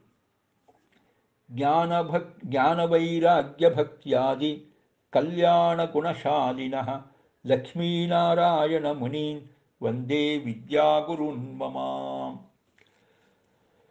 ಮುಂದೆ ವಿದ್ಯಾಗುರುಗಳು ಪಾಠ ಹೇಳಿಕೊಟ್ಟವರು ವ್ಯಾಸರಾಜರಿಗೆ ಯಾರು ಪಾಠ ಹೇಳಿಕೊಟ್ರು? ಲಕ್ಷ್ಮೀನಾರಾಯಣ ಮುನಿಗಳು ಅಂತ. ನಮಗೆ ಈ ಹೆಸರು ಹೇಳಿದರೆ ಯಾರು ಅಂತ ಬೇಗನೆ ಗೊತ್ತಾಗಲ್ಲ. ಕಥೆ ಗೊತ್ತಿದ್ದವರಿಗೆ ಗೊತ್ತಾಗೋದು. ಯಾರು ಲಕ್ಷ್ಮೀನಾರಾಯಣ ಮುನಿಗಳು ಶ್ರೀಪಾದರಾಜರೇ ಲಕ್ಷ್ಮೀನಾರಾಯಣ ಮುನಿಗಳು. ಶ್ರೀಪಾದರಾಜರಿಗೆ ಆಶ್ರಮ ಕೊಟ್ಟವರು, ಅವರಿಗೆ ಹೆಸರು, ನಾಮಕರಣ ಕೊಟ್ಟಿದ್ದು ಲಕ್ಷ್ಮೀನಾರಾಯಣ ಮುನಿ ಅಂತ. ಸ್ವಾರಸ್ಯ ಅಂದರೆ ಆಯಿತಾ, ಶ್ರೀಪಾದರಾಜರಿಗೆ ಮೂಲತಃ ಹೆಸರು ಇದ್ದದ್ದು ಕೂಡ ಲಕ್ಷ್ಮೀನಾರಾಯಣ ಅಂತಾನೆ. ಅವರ ಅಪ್ಪ ಅಮ್ಮ ಹೆಸರು ಇಟ್ಟಿದ್ದು ಲಕ್ಷ್ಮೀನಾರಾಯಣ. ಅವರಿಗೆ ಯಾರು ಆಶ್ರಮ ಕೊಟ್ಟರು ಶ್ರೀಪಾದರಾಜರಿಗೆ, ಅವರು ಅವರಿಗೆ ಕೊಟ್ಟ ಹೆಸರು ಕೂಡ ಮುನಿ ತೀರ್ಥ, ಅದನ್ನು ಸೇರಿಸಿದರು. ಮೊದಲಿದ್ದ ಹೆಸರಿಗೆ ಮುನಿ, ತೀರ್ಥ ಹೆಸರಿಟ್ಬಿಟ್ಟು ಲಕ್ಷ್ಮೀನಾರಾಯಣ ಮುನಿ ಅಂತ ಹೆಸರಿಟ್ಬಿಟ್ರು. ಆಯಿತಾ? ಹೀಗೆ ಲಕ್ಷ್ಮೀನಾರಾಯಣ ಮುನಿಗಳು, ಶ್ರೀಪಾದರಾಜರು. ಬ್ರಹ್ಮಣ್ಯ ತೀರ್ಥರು ಆಶ್ರಮ ಕೊಟ್ಟರು ಆಶ್ರಮ ಕೊಟ್ಟ ಮೇಲೆ ತಮ್ಮ ಶಿಷ್ಯನನ್ನು ಏನು ಮಾಡಿದ್ರು? ಶ್ರೀಪಾದರಾಜರ ಹತ್ರ ತೋರಿಸ್ಕೊಟ್ಬಿಟ್ರು ನೀವು ತಯಾರು ಮಾಡಿ ಅಂತ. ಒಂದು ವಿಶೇಷ. ಅದು ಯಾರ್ಯಾರಿಗೆ ಯಾರ್ಯಾರ ಹತ್ರ ಪಾಠ ಆಗಬೇಕು ಅಂತ ಅದೆಲ್ಲ ತೀರ್ಮಾನ ಆಗಿರ್ತೀರಿ. ಎಲ್ಲ ಭಗವಂತನ ಸಂಕಲ್ಪ ಇರುತ್ತೆ. ಅವರವರಿಗೆ ಅವರ ಹತ್ರನೇ ಪಾಠ ಆಗಬೇಕು. ಅದೆಲ್ಲ ಒಂದು ವಿಶೇಷ. ಭಗವಂತನ ಸಂಕಲ್ಪ ಹಾಗೆ ಇರುತ್ತೆ. ಹಾಗೆ ಅಂತ ಹೇಳಿ ಬ್ರಹ್ಮಣ್ಯ ತೀರ್ಥರಿಗೆ ಗೊತ್ತಿಲ್ಲ ಅಂತಲ್ಲ, ಎಲ್ಲ ಗೊತ್ತವರು. ಬ್ರಹ್ಮಣ್ಯ ಭಾಸ್ಕರಂ ಅಂತಲೇ ಹೇಳಿದ್ದು. ಸೂರ್ಯ ಅಂತ ಹೇಳಿ ಅವರ ಒಂದು ಪಾಂಡಿತ್ಯವನ್ನು ವಿಶೇಷವಾಗಿ ನಮ್ಮ ಮುಂದೆ ಇಟ್ಟುಬಿಟ್ಟಿದ್ದಾರೆ. ಅಂತಹ ಪಂಡಿತರಾದವರು ವ್ಯಾಸರಾಜರಿಗೆ ತಮ್ಮ ಮಠದ ತಾವು ಯಾರಿಗೆ ಆಶ್ರಮ ಕೊಟ್ಟಿದ್ದಾರೆ ಅವರಿಗೆ ಪಾಠ ಹೇಳ್ಬೋದಾಗಿತ್ತು. ಇಲ್ಲ ಅಂತಲ್ಲ. ಆದರೆ ಭಗವಂತನ ಸಂಕಲ್ಪ ಆಗಿದೆ. ಅಲ್ಲಿ ಆಗಬೇಕು ಪಾಠ ಅಂಥೇಳಿ ಅಲ್ಲಿಗೆ ಕಲಿಸ್ಕೊಟ್ರು ಮತ್ತು ಸಾಮಾನ್ಯ. ತಮ್ಮ ಹತ್ರ ನಮ್ಮ ಹತ್ರನೇ ನಾವು ಇಟ್ಕೊಂಡಾಗ ಯಾವತ್ತೂ ಎಲ್ಲೋ ಸರ್ತಿ ಒಂದು ರೀತಿ ಮುದ್ದು ಮಾಡೋದು ಜಾಸ್ತಿ ಆಗುತ್ತೆ. ಇಲ್ಲ ಅಂತಲ್ಲ. ಇಲ್ಲ ಬಿಡಿ. ಆ ರೀತಿ ಮುದ್ದು ಮಾಡೋ ವಿಚಾರ ಏನೂ ಇಲ್ಲ. ಅವರು ಅವರು ಸನ್ಯಾಸಿಗಳು, ಇವರು ಸನ್ಯಾಸಿಗಳು ಯಾವ ಅರ್ಥದಲ್ಲಿ ಎಷ್ಟೆಷ್ಟು ಅವರು ಮುದ್ದು ಮಾಡಬೇಕು, ಗೊತ್ತವರಿಗೆ ಇಲ್ಲ ಅಂತಲ್ಲ. ಆದರೂ ನಾವು ಹಾಗೆ ಹೇಳ್ತೇವೆ. ನಮ್ಮ ಮಕ್ಕಳನ್ನು ಎಷ್ಟೋ ಸರ್ತಿ ಗುರುಕುಲಕ್ಕೆ ಸೇರಿಸೋದು, ಹಾಸ್ಟ್ಲಿಗೆ ಸೇರಿಸೋದು ಯಾಕೆ ಅಂದರೆ ಮುದ್ದು ಬೇಡ ಅಂತ. ಚೆನ್ನಾಗಿ ಓದಲಿ ಅಂತ ಅಷ್ಟೇ ವಿಚಾರ. ಆಯಿತಾ? ಹೌದು, ಇಲ್ಲೂ ಕೂಡ ಒಳ್ಳೆಯ ವಿದ್ಯಾಭ್ಯಾಸ ಆಗಬೇಕು, ಭಗವಂತ ಸಂಕಲ್ಪ ಹಾಗಿದೆ ಅಂತ ತಿಳ್ಕೊಂಡು ಬ್ರಹ್ಮಣ್ಯ ಭಾಸ್ಕರರು ಏನು ಮಾಡಿದ್ರು, ಶ್ರೀಪಾದರಾಜ ಹತ್ರ ಕಳಿಸ್ಕೊಟ್ರು. ಆ ಶ್ರೀಪಾದರಾಜರ ಹತ್ರ ಹೋಗಿ ವಿದ್ಯಾಭ್ಯಾಸ ಮಾಡಿದರು. ಅವರಿಗೆ ಲಕ್ಷ್ಮೀನಾರಾಯಣ ಮುನಿ ಅಂತ ಆಶ್ರಮನಾಮ. ಆದರೆ ಮುಂದೆ ಆಗಿನ ಕಾಲದ ಶ್ರೇಷ್ಠ ಯತಿಗಳು ಜ್ಞಾನ ವಯೋವೃದ್ಧರಾಗಿರ್ತಕ್ಕಂಥ ರಘುನಾಥ ತೀರ್ಥರು ಅವರ ಆ ಒಂದು ವಿಶೇಷವಾದ ಗುಣಗಳನ್ನು ಕಂಡು ಉಳಿದವರೆಲ್ಲ ಶ್ರೀಪಾದರು, ನೀವು ಶ್ರೀಪಾದರಿಗೆ ರಾಜರು ಅಂತ ಹೇಳಿ ಅವರನ್ನು ಶ್ರೀಪಾದರಾಜ ಅನ್ನುವ ಒಂದು ವಿಶೇಷವಾದ ಮತ್ತೊಂದು ಹೆಸರನ್ನು ಕೊಟ್ಟರು ಗೌರವವನ್ನು ಅವರಿಗೆ ಕೊಟ್ಟರು ಅಂತ. ಹೌದು ಶ್ರೀಪಾದ ರಾಜರಾದರು ಶ್ರೀಪಾದರಿಗೆಲ್ಲ ರಾಜರಾಗಿದ್ದು, ಆ ಹೆಸರು ಅವರಿಗೆ ಬಂದದ್ದು ರಘುನಾಥ ತೀರ್ಥಯತಿಗಳಿಂದ ಅಂತ ಅವರ ಕಥೆಯಲ್ಲಿ ನಾವು ನೋಡ್ತೇವೆ. ಅಂತಹ ತಮ್ಮ ವಿದ್ಯಾಗುರುಗಳು. ಏನಪ್ಪ, ಆ ವಿದ್ಯಾಗುರುಗಳಲ್ಲಿ ವಿಶೇಷತೆ? ಎಂತ ಬಂದಾಗ, ಜ್ಞಾನ ವೈರಾಗ್ಯ ಭಕ್ತಿಯಾದಿ ಕಲ್ಯಾಣ ಗುಣಶಾಲಿನಃ. ವಿಶೇಷವಾಗಿ, ಒಬ್ಬ ವಿದ್ಯಾಗುರುಗಳಿಂದ ಪಡೆಯಬೇಕಾದ ಗುಣಗಳು ಅಂತ ಬಂದಾಗ ಜ್ಞಾನ, ಭಕ್ತಿ, ವೈರಾಗ್ಯ. ಆದಿಪದದಿಂದ ತಮಗೆ ಪಾಠ ಹೇಳ್ಕೊಳ್ಳಿಕ್ಕೆ ಏನೇನು ಬೇಕೋ ಅದೆಲ್ಲ ಸಚ್ಚಾಸ್ತ್ರಗಳ ಅಧ್ಯಯನ ಮಾಡಿದ್ದು ಹೌದು. ಎಲ್ಲ ಕಲ್ಯಾಣ ಗುಣಗಳೇ. ಎಲ್ಲ ಕಲ್ಯಾಣ, ಮಂಗಳಕರವಾದ ಗುಣಗಳು ಜ್ಞಾನ, ವೈರಾಗ್ಯ, ಭಕ್ತಿ ಆದಿ ಇನ್ನೂ ಬೇಕಾದಷ್ಟು ಮಂಗಳಕರವಾಗಿರ್ತಕ್ಕಂಥ ಗುಣಗಳು. ಆ ಗುಣಗಳೇ ಸ್ವಭಾವ, ಅವರಲ್ಲಿ ಸೇರ್ಕೊಂಡ್ಬಿಟ್ಟಿದೆ. ಆ ಗುಣಗಳೆಲ್ಲ ಅವರ ಸ್ವಭಾವದಲ್ಲೇ ಸೇರ್ಕೊಂಡ್ಬಿಟ್ಟಿದೆ. ಅದರಿಂದ ಶಾಲಿನ, ಅಂದರೆ ವಿಶೇಷವಾಗಿ ಅವರು ಪ್ರಕಾಶಮಾನರಾಗಿದ್ದಾರೆ. ಅಂತಹ ಲಕ್ಷ್ಮೀನಾರಾಯಣ ಮುನಿಗಳು, ನನ್ನ ವಿದ್ಯಾಗುರುಗಳು, ಅವರನ್ನು ನಮಸ್ಕಾರ ಮಾಡ್ತೇನೆ. ಯಾಕೆಂದರೆ ಆಶ್ರಮ ಗುರುಗಳ ಒಂದು ವಿಶೇಷವಾದ ಆಶೀರ್ವಾದ, ವಿದ್ಯಾಗುರುಗಳ ಆಶೀರ್ವಾದ ಇದ್ದಾಗ ಯಾವುದೇ ಒಂದು ಗ್ರಂಥ ರಚನೆ ಉತ್ತಮ ರೀತಿಯಿಂದ ನೆರವೇರುತ್ತೆ, ಗ್ರಂಥ ರಚನೆ ಪರಿಪೂರ್ಣವಾಗುತ್ತೆ. ಆ ಗ್ರಂಥ ವಿಶೇಷವಾದ ರೀತಿಯಲ್ಲಿ ಜಗತ್ತಿನಲ್ಲಿ ಪ್ರಕಾಶಮಾನವಾಗುತ್ತೆ. ಜಗತ್ತಿನಲ್ಲಿ ಅದರಿಂದ ತಮಗೆ ಕೀರ್ತಿ ಬರುತ್ತೆ. ಗೊತ್ತವರಿಗೆ ಅದಕ್ಕೋಸ್ಕರವಾಗಿ ಈ ಎಲ್ಲ ಮಂಗಲಾಚರಣೆಯಲ್ಲಿ ಇವರನ್ನೆಲ್ಲ ಚಿಂತನೆ ಮಾಡ್ತಕ್ಕಂಥದ್ದು. ಮೊದಲು ಭಗವಂತನನ್ನು ನಮಸ್ಕಾರ ಮಾಡ್ತಕ್ಕಂಥದ್ದು ಎರಡು ಶ್ಲೋಕಗಳಲ್ಲಿ. ಆಮೇಲೆ ಆನಂದ ತೀರ್ಥ ಗುರುಗಳನ್ನು, ಅದಾದಮೇಲೆ ಟೀಕಾಚಾರ್ಯನನ್ನು, ಅದಾದಮೇಲೆ ಬ್ರಹ್ಮಣ್ಯ ತೀರ್ಥರನ್ನು ಅದಾದಮೇಲೆ ತಮಗೆ ಪಾಠ ಹೇಳಿಕೊಟ್ಟಿರ್ತಕ್ಕಂಥ ಶ್ರೀಪಾದರಾಜರನ್ನು ಹೀಗೆ ಆರು ಶ್ಲೋಕಗಳು, ಅದರಲ್ಲಿ ಎರಡು ಭಗವಂತನಿಗೆ. ಹರಿ ನಮಸ್ಕಾರ ಹರಿ ನಮಸ್ಕಾರ ಹರಿ ಗುರುನೂ ಹೌದು, ಹರಿ ಗುರು ಅಲ್ಲ ಅಂತಲ್ಲ. ಮಧ್ವಾಚಾರ್ಯಗೆ ಹರಿಯು ಗುರುನೂ ಒಬ್ಬನೇ ಅಂತ. ಅದು ವಿಶೇಷ. ಹರಿಯು ಗುರುವು ಒಬ್ಬನೇ ಅಂತ. ಯಾರಿಗೆ? ಮಧ್ವಾಚಾರ್ಯಗೆ ಸಂಬಂಧಪಟ್ಟಂತೆ. ದೇವತೆಯೂ ಅವನೇ, ಗುರುವು ಅವನೇ ಅಂತ. ಉಳಿದವ್ರಿಗೆ ಹಾಗಲ್ಲ. ದೇವತೆ ಬೇರೆ ಇರ್ತಾರೆ ಗುರುಗಳು ಬೇರೆ ಇರ್ತಾರೆ ಆಯಿತಾ?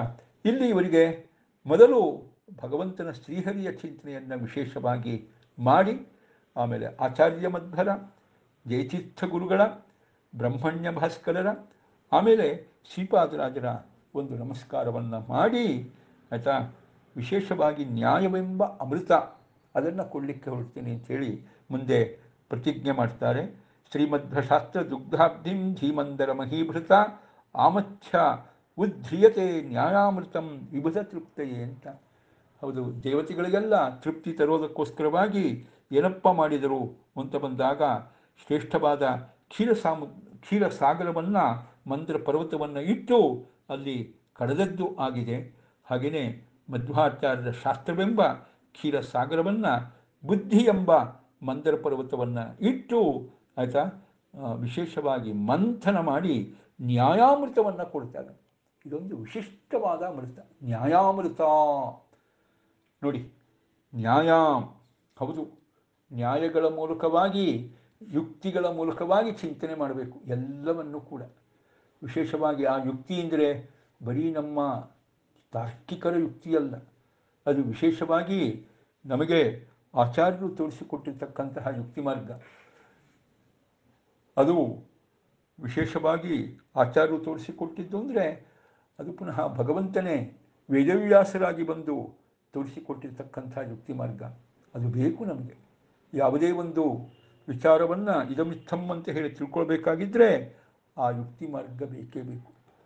ಅಲ್ಲಿ ವಿಶೇಷವಾಗಿ ಆಚಾರ್ಯರು ಬ್ರಹ್ಮತರ್ಕ ಅಂತ, ಬರೀ ತರ್ಕ ಅಲ್ಲ, ಬ್ರಹ್ಮತರ್ಕ, ವೇದಕ್ಕೆ ಅನುಗುಣವಾಗಿರ್ತಕ್ಕಂಥ ಒಂದು ತರ್ಕ.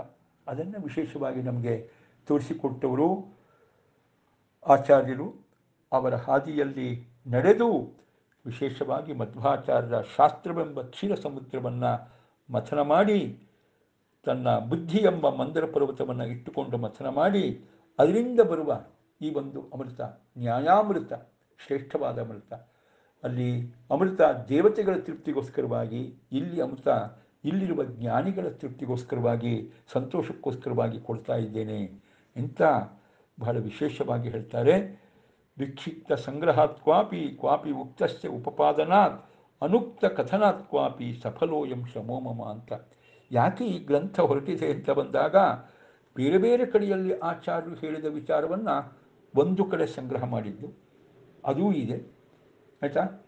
ನಾವು ನೋಡ್ತೇವೆ ಇಲ್ಲಿ ಒಂದೊಂದು ಪ್ರಕರಣಗಳಲ್ಲಿ ಆಚಾರ್ಯರು ಮಿಥ್ಯಾತ್ಮ ನಿರಾಕರಣೆ ಇರಬಹುದು ಮತ್ತೊಂದು ವಿಚಾರ ಇರಬಹುದು ಆಚಾರ್ಯರು ಬೇರೆ ಬೇರೆ ಕಡೆಯಲ್ಲಿ ನಿರಾಕರಣೆ ಮಾಡಿರ್ತಾರೆ, ಅದೆಲ್ಲವನ್ನು ಒಟ್ಟು ಸಂಗ್ರಹ ಮಾಡಿದ್ದು. ಮತ್ತು ಆಚಾರ್ಯ ಬೇರೆ ಬೇರೆ ಗ್ರಂಥಗಳಲ್ಲಿ ಮಾಡಿದ್ದು ಕೆಲವು ಕಡೆ ನಮಗೆ ಸ್ಪಷ್ಟವಾಗಿ ತಿಳಿಯೋದಿಲ್ಲ. ಅದನ್ನು ಉಪಪಾದನೆ ಮಾಡೋದು, ಮತ್ತಷ್ಟು ಸ್ಪಷ್ಟಪಡಿಸೋದು. ಆಚಾರ್ಯರು ಎಲ್ಲೊಂದು ಕಡೆಯಲ್ಲಿ ಅನುಕ್ತ ಕಥನಾತ್ಕಾಪಿ ಏನು ಮಾಡ್ತಾರೆ ಅಂದರೆ, ಇದರ ಬಗ್ಗೆ ದೊಡ್ಡ ವಾಕ್ಯಾರ್ಥ ಎಲ್ಲ ಇದೆ. ಇಲ್ಲಿ ಬಿಡಿ, ಅದು ಬೇಡ ನಮಗೆ. ಅನುಕ್ತ ಅಂದರೆ ಆಚಾರ್ಯ ಹೇಳದೇ ಇದ್ದದ್ದನ್ನು ಹೊಸದಾಗಿ ಹೇಳಿದ್ರ ಅಂತ. ಹಾಗಲ್ಲ. ಆಯಿತಾ? ಆಚಾರ್ಯರು ಸೂಚನೆ ಮಾಡಿರ್ತಾರೆ. ಅದನ್ನು ನಮಗೆ ವಿಶೇಷವಾಗಿ ತಿಳಿಸಿಕೊಡ್ತಕ್ಕಂಥದ್ದು ಅನುಕ್ತ ಕಥನಾತ್ಕಾಪಿ ಆಯಿತಾ? ಯಾವುದಾದ್ರು ಒಂದು ಪದದಿಂದ ಚಾ ಪದದಿಂದ ಥೂ ಪದದಿಂದ ಏನೋ ತಿಳಿಸಿಕೊಟ್ಟಿರ್ತಾರೆ. ಅದನ್ನು ವಿಶೇಷವಾಗಿ ತಿಳಿಸಿಕೊಡ್ತಕ್ಕಂಥದ್ದು. ಹೀಗೆ ಅದಕ್ಕೋಸ್ಕರವಾಗಿ ಈ ಗ್ರಂಥ ಹೊರಟಿದೆ. ಅದರಿಂದ ಈ ಗ್ರಂಥ ನನ್ನ ಶ್ರಮ ಸಫಲವಾಗಿದೆ ಅಂತ ಅವರು ಈ ಗ್ರಂಥದ ಪ್ರಾರಂಭದಲ್ಲಿ ಒಂದು ಈ ಗ್ರಂಥದ ರಚನೆಯ ಉದ್ದೇಶ ಮತ್ತು ಗ್ರಂಥದ ವೈಶಿಷ್ಟ್ಯವನ್ನು ಕೂಡ ಮುಂದೆ ತಿಳಿಸಿಕೊಂಡಿದ್ದಾರೆ. ಅದರ ಬಗ್ಗೆ ನಾನು ಜಾಸ್ತಿ ಏನು ಹೇಳಲಿಕ್ಕೆ ಹೊರಟಿಲ್ಲ. ಯಾಕೆ ಅಂತ ಹೇಳಿದರೆ, ನಮ್ಮ ಉದ್ದೇಶ ಬಹಳ ಮುಖ್ಯವಾಗಿ ಹರಿಗುರು ನಮನ. ಹರಿಗುರು ನಮನ. ಇದು ವಿಶೇಷವಾಗಿ ನ್ಯಾಯಾಮತದಲ್ಲಿ ಬಂದಿರತಕ್ಕಂಥ ಹರಿಗುರು ನಮನ ಹೀಗಿದೆ. ಇನ್ನು ಎರಡು ವಿಶೇಷವಾಗಿ ಹರಿಗುರು ನಮನ. ತರ್ಕ ತಾಂಡವದಲ್ಲಿ, ಅದೇ ರೀತಿಯಾಗಿ ತಾತ್ಪರ್ಯ ಚಂದ್ರಿಕಾದಲ್ಲಿ ಬಂದಿರುವ ಹರಿಗುರು ನಮನ. ಜೊತೆಗೆ ಮತ್ತೊಂದನ್ನು ವಿಶೇಷವಾಗಿ ನನಗೆ ಅವರು ತಿಳಿಸ್ಕೊಟ್ಟಿರೋದು ಐದು ಪಂಚಮಾಲಿಕಾ ಸ್ತೋತ್ರ ಏನಿದೆ ಶ್ರೀಪಾದರಾಜರ ಬಗ್ಗೆ ಹೇಳಿದ್ದಾರೆ ವ್ಯಾಸರಾಜ್ ಗುರುಸಾರ್ಭವರು ಅದು ಒಂದಿದೆ. ಅದನ್ನು ಮುಂದಿನ ಭಾಗದಲ್ಲಿ ನೋಡೋಣ ಅಂತ ಹೇಳ್ತಾ, ಅನೇನ ವ್ಯಾಸರಾಜ ಗುರುಸಾರ್ವಭೌಮಕೃತ ಹರಿಗುರು ನಮನ ಚಿಂತನೇನ ವಿಶ್ವೇಶತೀರ್ಥ ಗುರುವಂತರ್ಗತ ವಿದ್ಯಾಮಾನ್ಯ ತೀರ್ಥ ಗುರುವಂತರ್ಗತ राघवेन्द्रगुरुसर्वभौमा भिन्न व्यासराजगुरुवन्तर्गता भारती तत्समस्त तत्समस्ततत्त्वदेवतान्तर्गत भारतीरमणमुख्यप्राणान्तर्गत इष्टदेवता, कुलदेवतात्मकः, रामकृष्णवेदव्यासात्मकः, लक्ष्मीहयग्रीवात्मकः, बिम्बरूपी परमात्मा, प्रियतां प्रीतो वरदो भवतु, श्रीकृष्णार्पणमस्तु। अक्षयं कर्म यस्मिन् परे परेस्वर्पितं प्रख्ययं यान्ति दुःखानि यन्नामतः। अक्षरो योजरः सर्वदेवामृतः, कुक्षिगं यस्य विश्वं सदा अजादिकम्। प्रीणयामो वास्तेवं देवतामण्डलाखण्डमण्डलं प्रीणयामो वास्तेवं प्रीणयामो वास्तेवं प्रीणयामो वास्तेवम् अच्युताय महानन्ताय महागोविन्दाय महाच्युताय महानन्ताय महागोविन्दाय महा अच्युतानन्तगोविन्देभ्यो नमो नमः। हरये नमः।